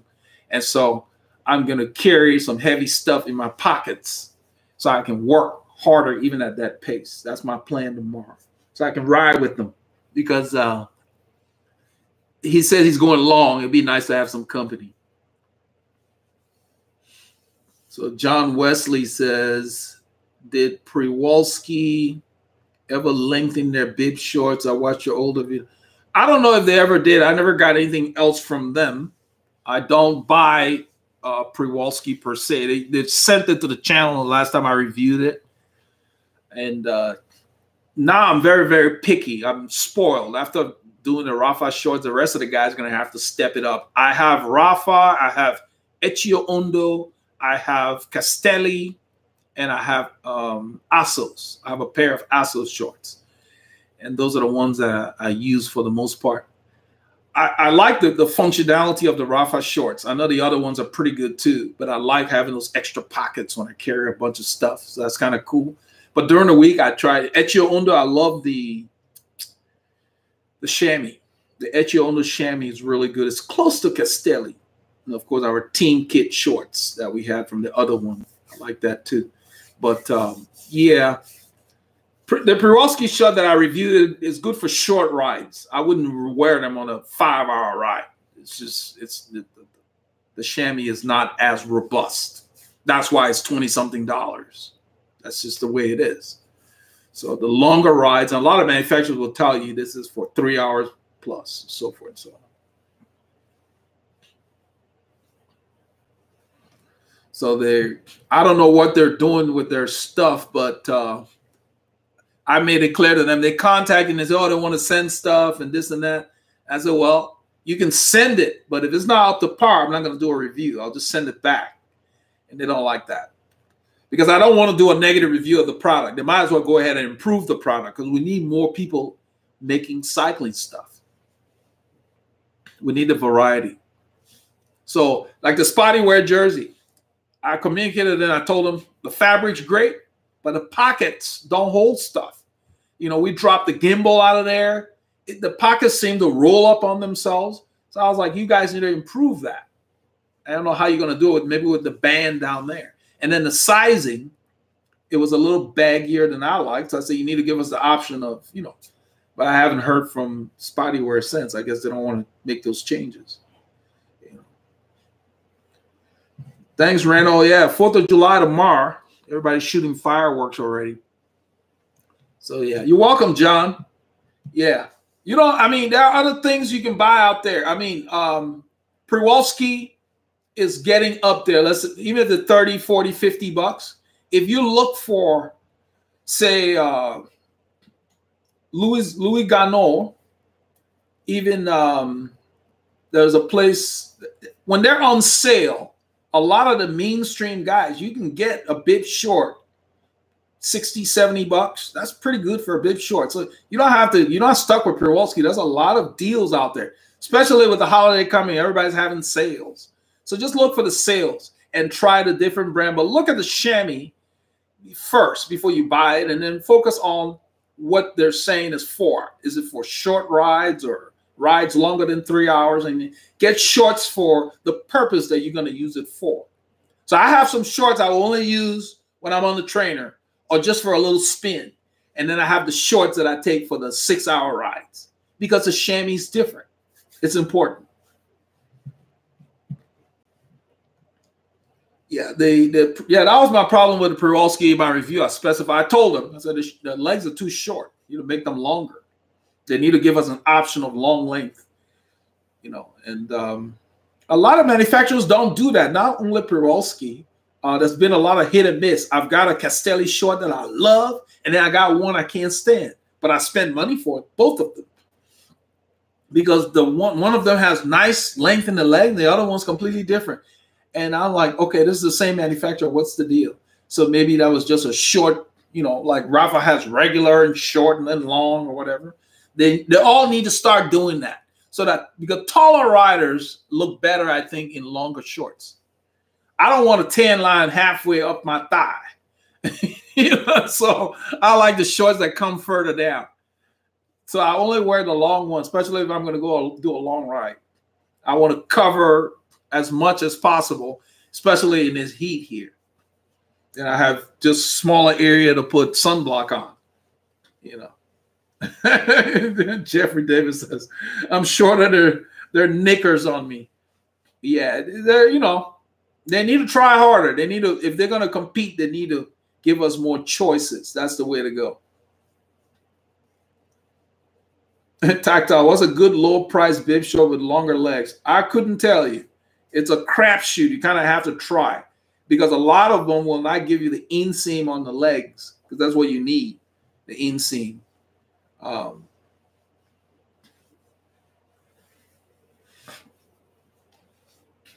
the inseam on the leg makes a big difference, and a lot of them don't list what the inseam is, even within the same manufacturer.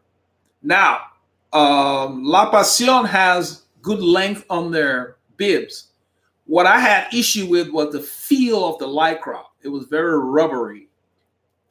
And so maybe they've, they've made changes this year. I don't know. But that's that's something to be aware of. So you, you got to do some shopping. You got to you got to try stuff, and that's why uh, it's hard because some of the manufacturers will charge you when you return stuff. And I, I talked about that even you know La Passione, I can't try their stuff. I got to be sure what I'm getting because if you return it, you lose money on the return. So the, the top guys don't do that. A lot of them have good return policies.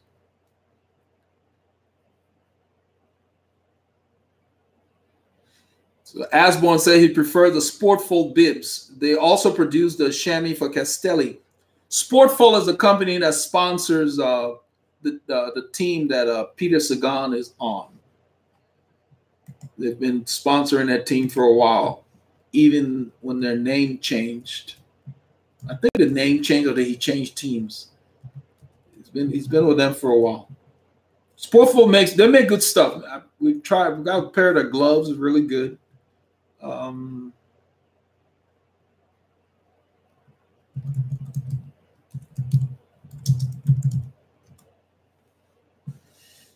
I, am trying to see if Sagan left. Uh,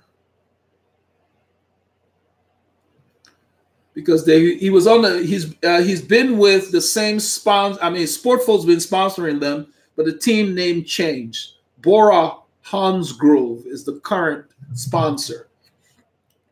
I think it's like two. I think Bora Hansgrohe makes uh, I think they're refrigerators or coffee makers or something like that. I like to look up what the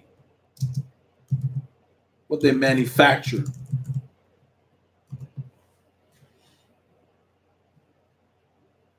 It's a German manufacturer. Let's see.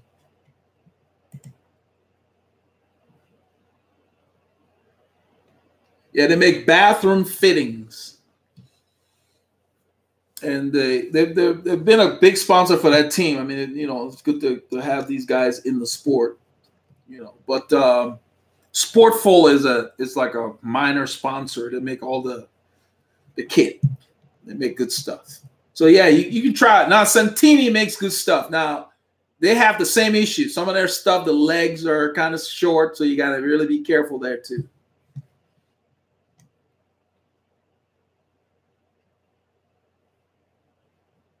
No, I haven't seen the Super 6 Evo. I'm not really in the market for bikes. I, I, like very traditional looking bikes. I'm not into all the what I call the fad, the faddish changes that they do. I mean, you know, Cannondale makes makes uh, really good bikes. Um, I like the dimensions. That's what I like about Cannondale. Cannondale and uh, Cervelo have good dimensions if you're going to buy off the shelf some of the manufacturers that bike I, I can't fit it. So they're not even a choice for me. Let's see here. The super 6 evo. Yeah everything's looking the same. And i think you know it's kind of boring actually. If everybody's got the bikes that look the same what's the point? It's kind of dull. You know? so I, I like traditional looking bikes. I don't care for the space age. Everybody's burying the cables and this and that, and you got one cable sticking out. They can't quite get rid of all the cables, but it's supposed to be more aerodynamic. Yeah. Well, how much wind is that little cable catching? Who's measuring that? so it just this is marketing. But uh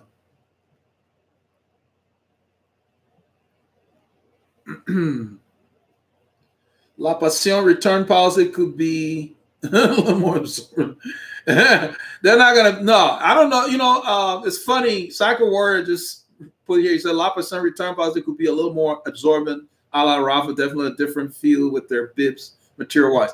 Um, here's my issue with La Passione. Now, they don't they don't state on their site that they're competing with Rapha or Assos or whatever, but they imply it. I don't like that. You got a product, sell your product. Quit whining about the other guys.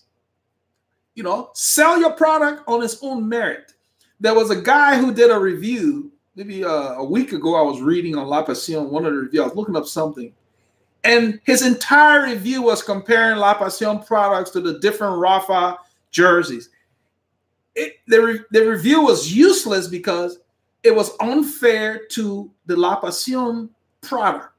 There is no one product that you can compare to other to multiple other products in any sphere when you think about it. It just made no sense. So I clicked on that the review was not helpful because it wasn't.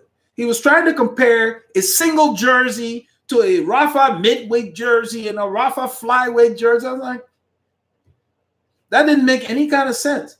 Why are you so worried about all the Rapha products? You, you bought the La Passione, whatever it was.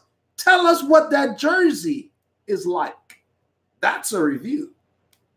But they're they're they're fostering that because in their write-up, they keep talking about the other guys have advertising and sponsors and whatever. And we know who they're talking about. You know, the top guys, you know, Castelli sponsors uh, uh, well, Sky and I's Ineos. I don't know if this, they moved with them. But all these guys are getting their product out that, that way. And they want to talk about, well, you're not at that level. Okay. They're not there. And so just they need to spend more time on refining their products and letting us get to know their products as opposed to trying to compete with the guys. Because, like you just mentioned, I won't try their products because they charge you when you return it. Doesn't matter why you return it, they will charge you. Well, Rapha ships everything with a return label. I mean, nobody else does that. There are other places where you have to, you know, I, have I've dealt with Santini where you can return stuff if it's if it's on them, if it's their fault, then yeah, they will send you a label or whatever. But La Passione will charge you when you return stuff. So I can't, I don't try their stuff. And then I got their shorts, and after all the write-ups, he they, it was they built it up. You, are gonna you're gonna whine about the big boys, whoever they may be, Assos, Castelli, whatever. So I'm getting salivate. I'm salivating here now, and I'm going. Oh, I'm going to try your short because you're whining about the big boys. You're saying that we're selling it at a, at a lower price because we don't have sponsorships and all of this crap. So I expect your stuff to be there, and then I get your shorts, and it's like wearing rubber. It's like I'm wearing a, a, a wetsuit. Whereas the other guys that like her feel like fabric. That's my issue. So I bought two of their shirts thinking it was going to be apropos with the big boys, and it was not. You know, and I blame them because they need to quit talking about the big boys and just tell us this is what we have. You know, and I told them that because you know I got a discount code or whatever is all used up. They gave me like 20 uses for a discount code. I put it on the channel under the review. I told them that in an email. So just push your products. Quit whining about the other guys. We just want to know what you got. you know, so ah, let's see here. Uh, uh, all right. Hmm.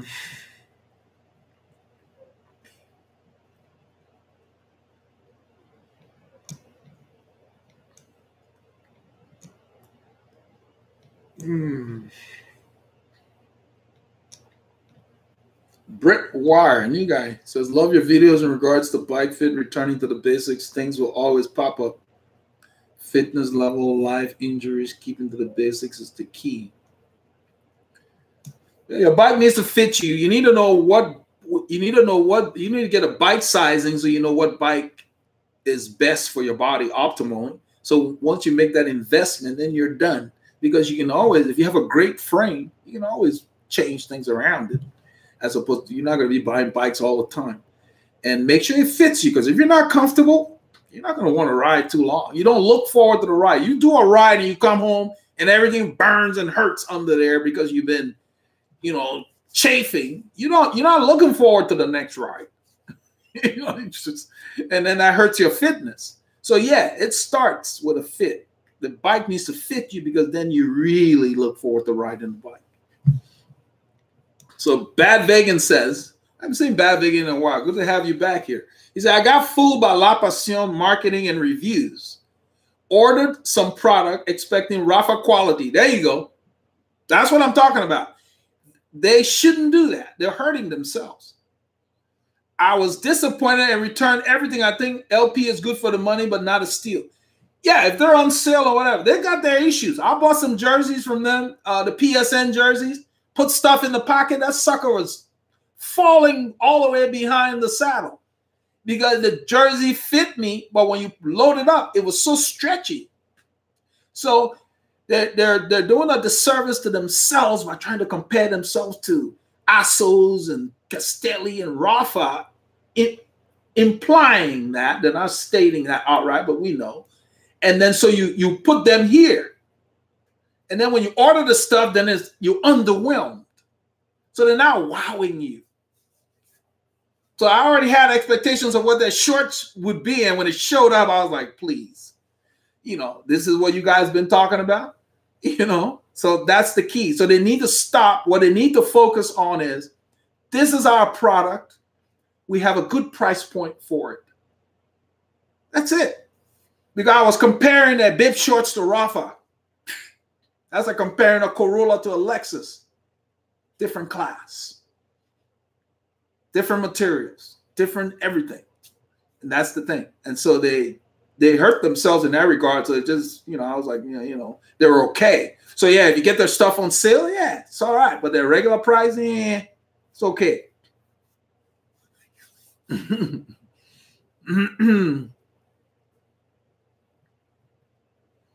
Somebody mentioned uh, Le Col. I've heard of Le Col. I've seen their stuff.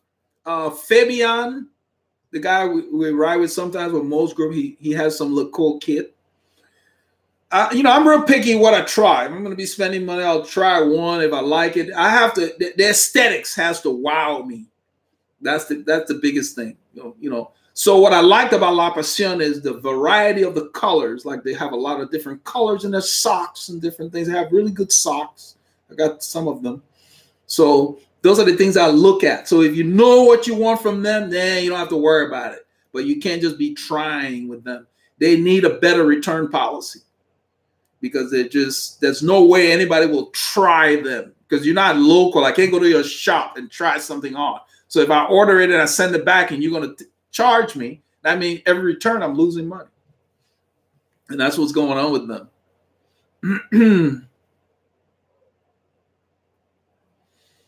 so Tactile says he ordered some GP 5000 latex tubes. Can't wait to test them out. Never used latex tubes.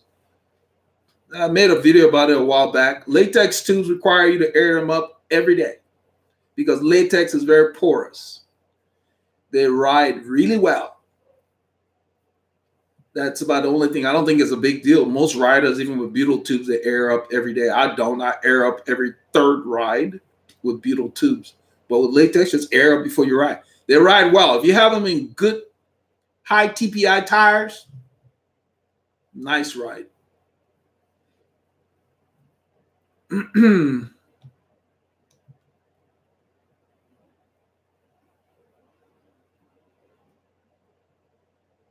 Yeah, the uh, Bad Vegan says, thanks. I asked you about the PSN line, decided against buying LP further. Yeah, the, the PSN is supposed to be their premium line. Now, don't get me wrong, they've got some nice stuff. This is one of their jerseys I got on sale a, about a year ago, I guess. I've got like the white also with this the, the square block on there. And um, the the material is really good. It's very light. This is great for summer. They've got some nice jersey. Like this is not the PSN jersey. I don't know what they call it, but it's just a lightweight, I guess. It might be PSN, but it's called lightweight. Now, the one that they have that it says all weather, the material in the jersey is what is very stretchy. You put it on, it fits you well, but you load up the pocket and throughout the ride, everything's just moving down literally over your saddle. I, I was very, very surprised. And you know, and, and they're nice jersey. I like the color. I got a purple one, and then I got like a I think a lime green or something. You know, just I like their colors. You know, they're Italian. They, they play with colors. Very visible stuff, but just don't load up the pockets. So, so I didn't get any more of that one. But these, they're fine. These, they're pocket. So how can the same manufacturer have this jersey with three pockets that don't sag? And this is a lightweight screen material. And then they have another jersey, the PSN jersey. That's what they call that. supposed to be all year jersey, which I think it's not. I think it's uh, it's probably I would call it a midweight jersey, the PSN line. It's not for very hot weather. And that is the material, the pocket is not it just not hold. So there's something with the material that you, that you use something different for the pockets. Because the jersey itself, this jersey is fine. So they have some jerseys that are fine. And and so it's inconsistent. So then here's the thing. So I'm trying your stuff. And if I have this issue with the pockets not for me to send it back, then I lose money. So why would I want to try your stuff? And you're you're an online company. So they've got to look at what they're what they're doing. That that's the biggest thing. So it doesn't make you want to try this stuff. Well, Rapha, I can try anything. I just I got a pair of shades I was talking about that I'm doing a review on, and I'm sold. The price point was very competitive, uh, much less eighty dollars less than Oakley, and with that with the same quality Zeiss lenses or whatever. And I wore them today, and my impact, my, my feel. I wore the thing and I could feel the air coming under the lens. Of course, you got full coverage because it wraps. And I have to. I didn't. I didn't bring the lens up here, but uh, the the, the aesthetics. First of all, it looks good because I, you know, you look good, you feel good. It looks good. It functions really well. Excellent lenses, no frame around it, just the arm holding there, frameless, and it just you forget you're wearing it.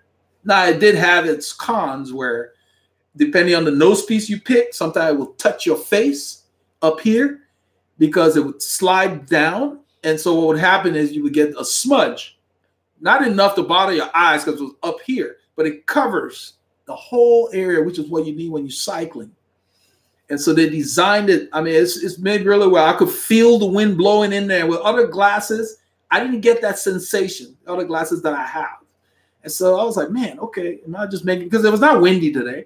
So am I just is this just something? So other than that one little caveat with you getting smudges on it sometimes when it comes in too far. So it comes with the smaller nose piece, and I immediately changed it because the bigger nose piece keeps the glasses off your face more. You know, the smaller one, you know, depending on your bone structure. But it just so they, they ship it with two nose pieces then a case, like a bag you can put it in, and then the, the wiping cloth. Then they leave two slots for you to get two extra glasses if you want, because they sell glasses, the extra lenses. And they have a slot in the case if you get extra lenses for you to place them in. Because the whole thing is just a lens, a nose piece, and two arms, no frame. You put it on, you forget you're wearing glasses, and like, man. So I really like that about it. And tomorrow I'll test it out more. So uh, they're they're they're doing some good stuff. I already talked about his shoes. You know, Paul has them, and another guy here that said, I think was it Ian or it must have been. It's either Ian or let's see. Let me scroll up. He was talking about it. He really likes it. Uh, who was it? Somebody from the UK.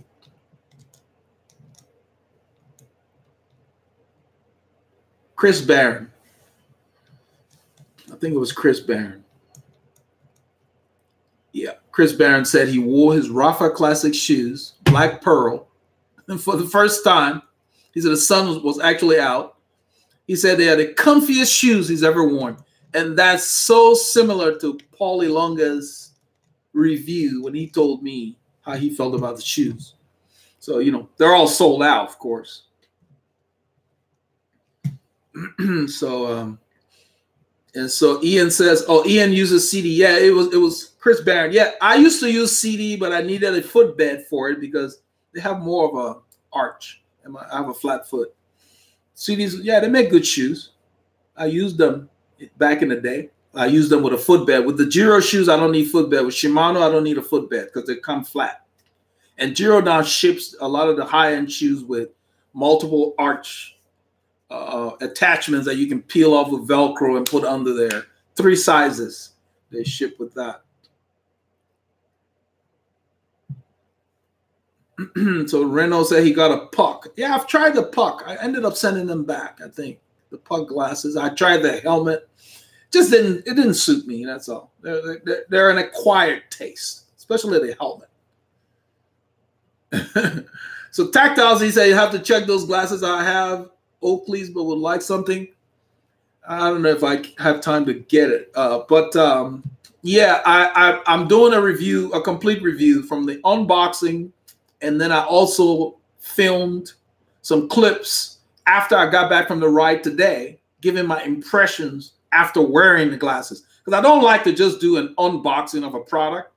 I want to wear it, and so you know what happened on the road. But uh, the, the the one I don't know if I would call it a negative because everybody's face is different. The issue uh, that bugged me, and not not enough for me to send it back, obviously, is that when you put the glasses on, and you and there's a tendency sometimes for it to touch your face and if it touches your face and you're perspiring you get a smudge on the lens because there's no frame just the arm but that's so rare i guess i don't know what caused it to do that but I, I you know i just noticed there was a smudge at the end of the ride i don't know when it happened it didn't bother me during the ride like i said i forgot i was wearing it and even in the review you will hear certain things I noted. You know how it is when you turn to look behind, depending on what glasses you're wearing, you can see the edge of your glasses. Not the case with the Rapha glasses. You look, you turn to look behind when you're riding, you just see what you need to see. There is no piece of the edge of the lens obscuring your vision. So you have so much coverage. And um, I decided to try them. We went to a ride with Mo and them when we wore our team kit, Paul and I. There's a guy named Will. Will had the the one with the pink uh, um, arms because they come with pink, chartreuse, black. I got the one with transparent arms. That was what they call it, but it looks kind of a dark brown. Um, and he had the bronze lenses. A lot of them come with the bronze lenses. I like the bronze bronze because it's very reflective. Also, in the twilight or early in the morning, you can still see because it's uh, it, it, it protects from ultraviolet, but I believe it's also polarized. They don't say that, but it cuts shadows, and that's what usually polarized lenses do. It's made by the lenses are Zeiss, Z E I S S, high quality lenses. I have another frame that has I got that from Christian that has the same lenses on there, so I'm familiar with the quality. But they're huge and they cover your face. They're not huge like the what you call the uh, Oakleys, like the what they call the Oakleys. Uh, that's the one that uh, Mark Cavendish used to wear. It just looks kind of gaudy. These are very stylish, you know. So they're, they're wide, but they're cool and they wrap and they just look. They look aero and they're functional. And I was thinking, hmm. And then they, are selling them for 135 dollars. Well, Oakley are easily 200 bucks, you know, depending on which one you're getting. But these are the these are the second or third glasses they've come out with because they came out with glasses that are almost like 250 or more. I did not look at I didn't like the styling on that one. These they call their flyweight glasses and they have just really they cleaned it up. You you only have what you need. You need lenses and you need arms and a nose piece. And it's almost like they went in and shaved everything else you did not need. So when I was riding, I could feel the wind coming from the helmet down here over my eyes. I could feel breeze in there. So at no time, it was like 95 Fahrenheit, which is about 34, 35 Celsius or something like that. It was hot today when I was out there. I mean, it warmed up, but it was hot enough to where I did not feel any problem like I was blocking the wind. It's almost like the wind that I don't know what how they did it, but the design is such that you get breeze over your eyes and down here on your cheek as you ride. And I was like, mm, okay. And I was trying to think, do I get the same feeling with the other glasses? And I never got that feel. Not that the other glasses were terrible. I mean, I have a lot of different sunglasses that I try, but that left an impression just how I could feel the breeze over my face, even though I was wearing the lens. And I was like, man, that's what I mean when I say you forget you have them on. And the cool thing is, no one can see your eyes. Really reflective. It's like somebody looks at you like they're looking in a mirror. I think that's really cool. So I really like that. I'm, I'm talking about it. I probably should have brought it up here, but uh, it, it's uh, it's really cool. It's it, and it just looks good. It looks the business. You know, you in good shape. You wear those glasses. You come out looking mean. Even if you get dropped, you look good. uh, oh man. Okay, guys, we're gonna go ahead and wrap up. It's almost two hours. Yeah, the mirror, the mirror lenses. That's what they call it. Um, I don't know. Uh, maybe I should I should get. I've talked about the glasses so much. I think I should I should go ahead and get it. I'm gonna run and get it. I'm gonna run and get the glasses. Give me a minute.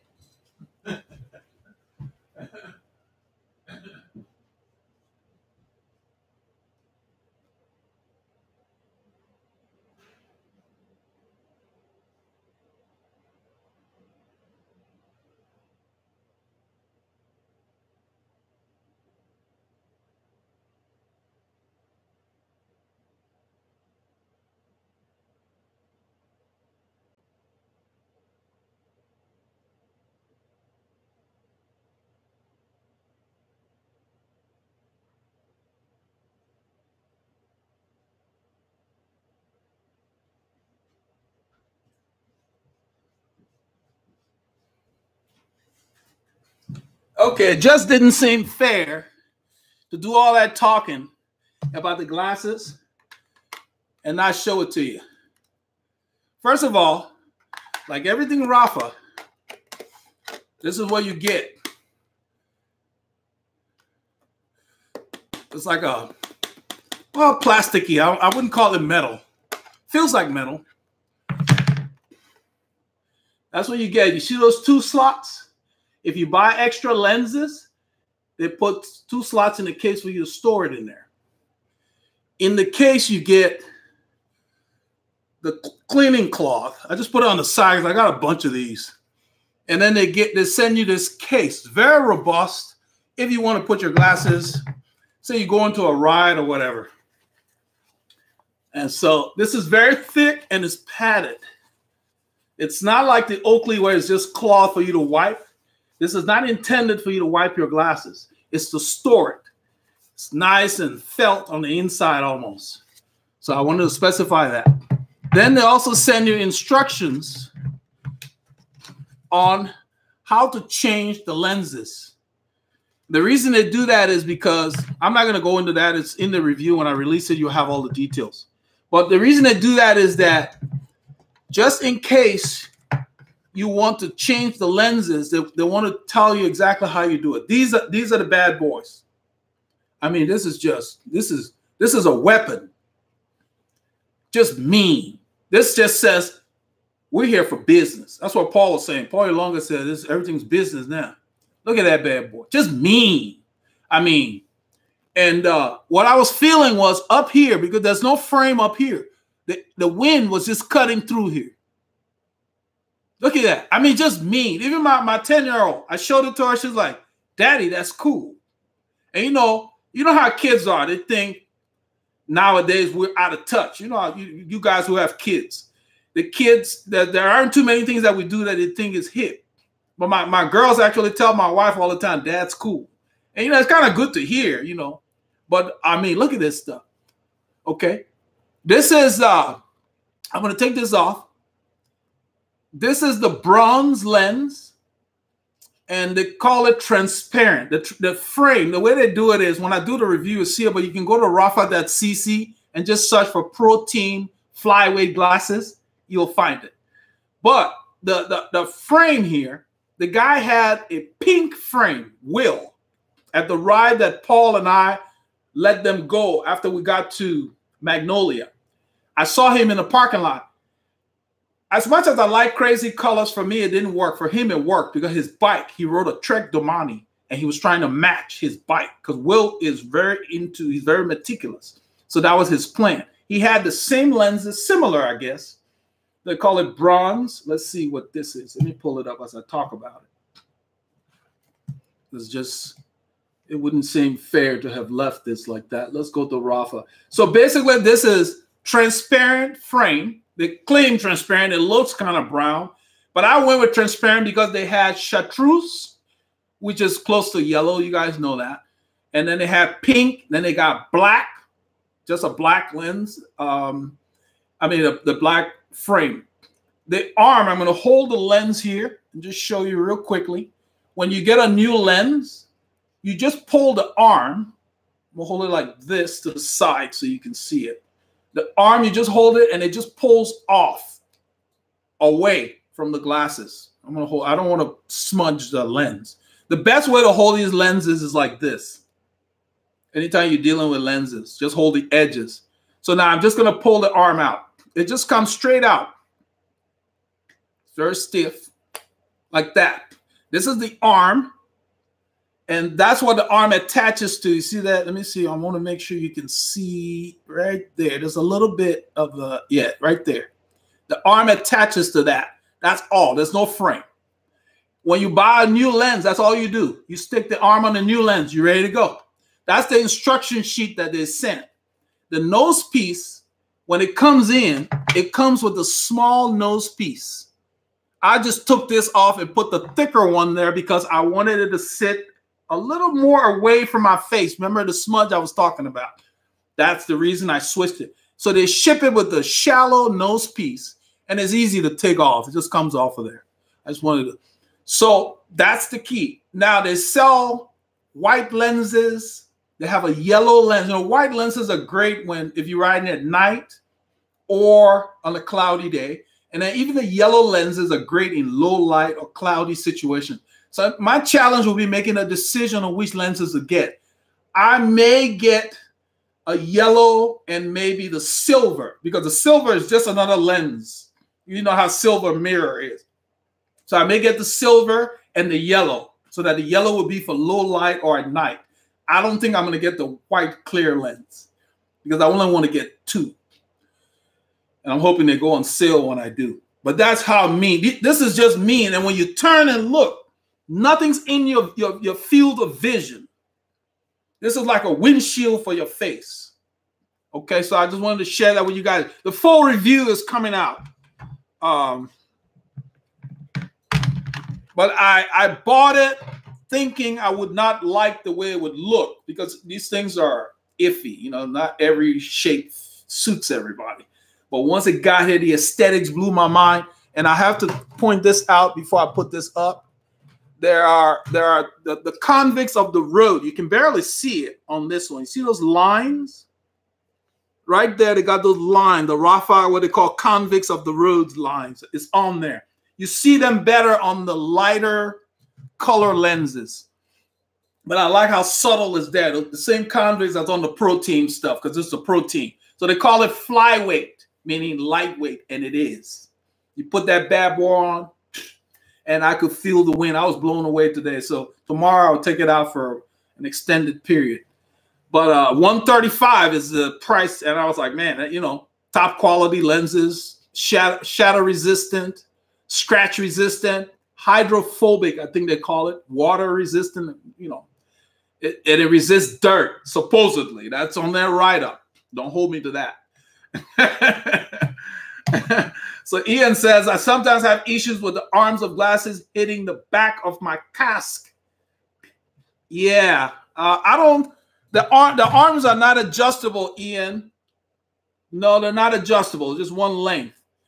Um, you you kind of have to try it. I don't. I don't think you will have an issue because the arms wrap towards your the shape of your head. They don't stick straight back. So I don't think you will have that with your Kask because I used to have a Kask helmet.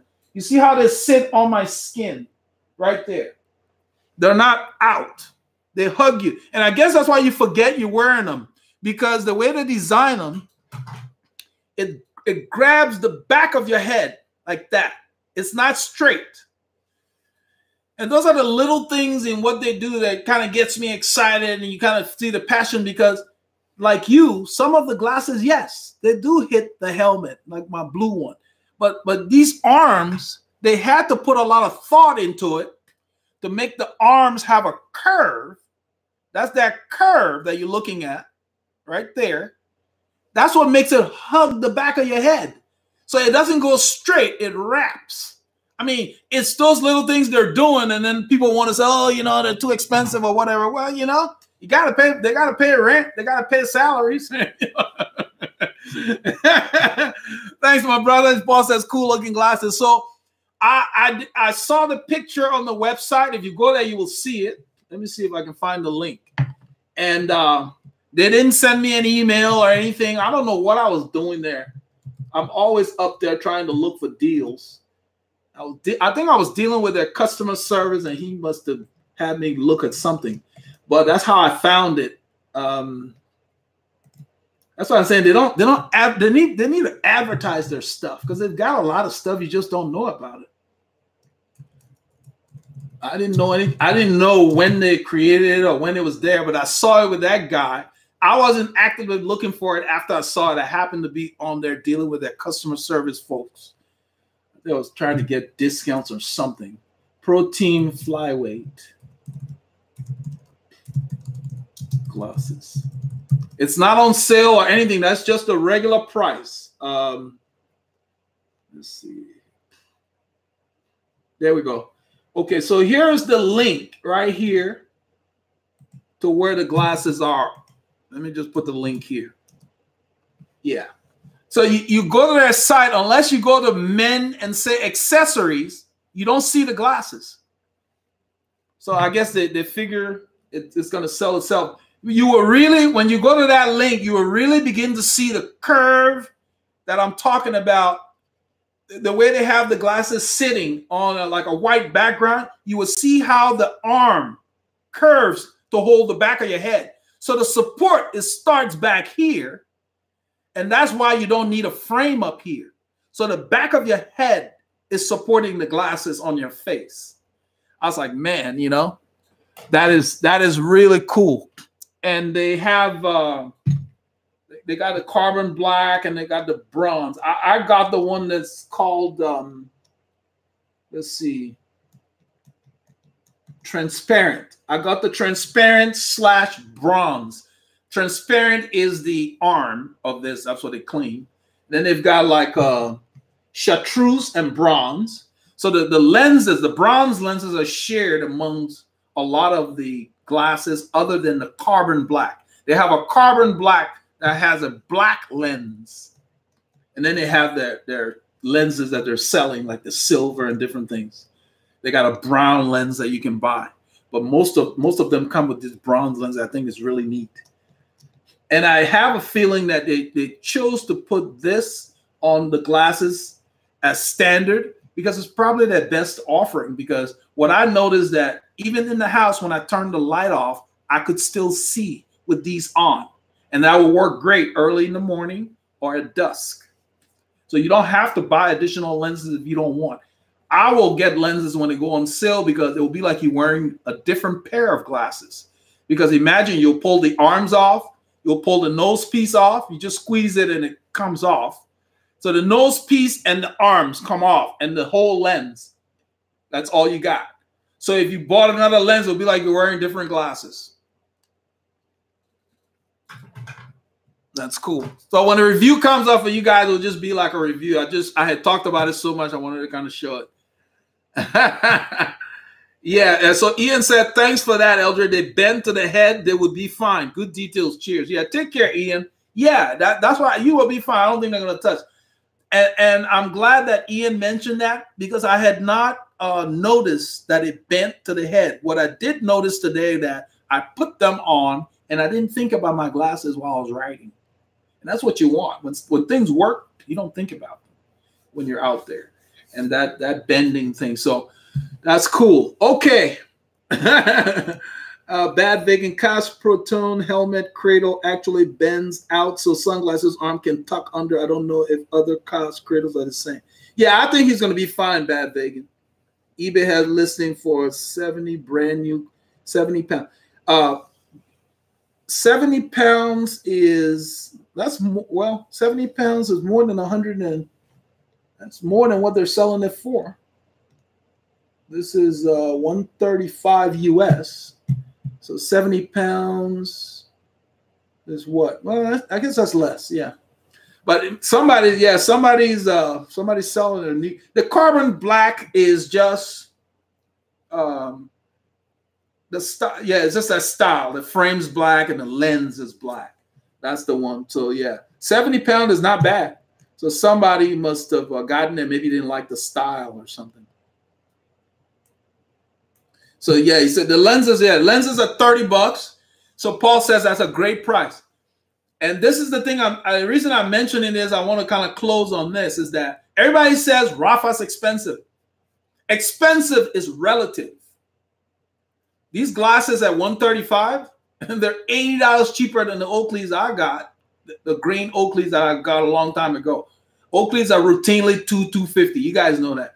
So everybody says Rapha expensive. So what's happening is the people who fall for that Rapha's expensive are not going to partake in things like these because in their mind, Rapha's expensive. I'm not going to even look.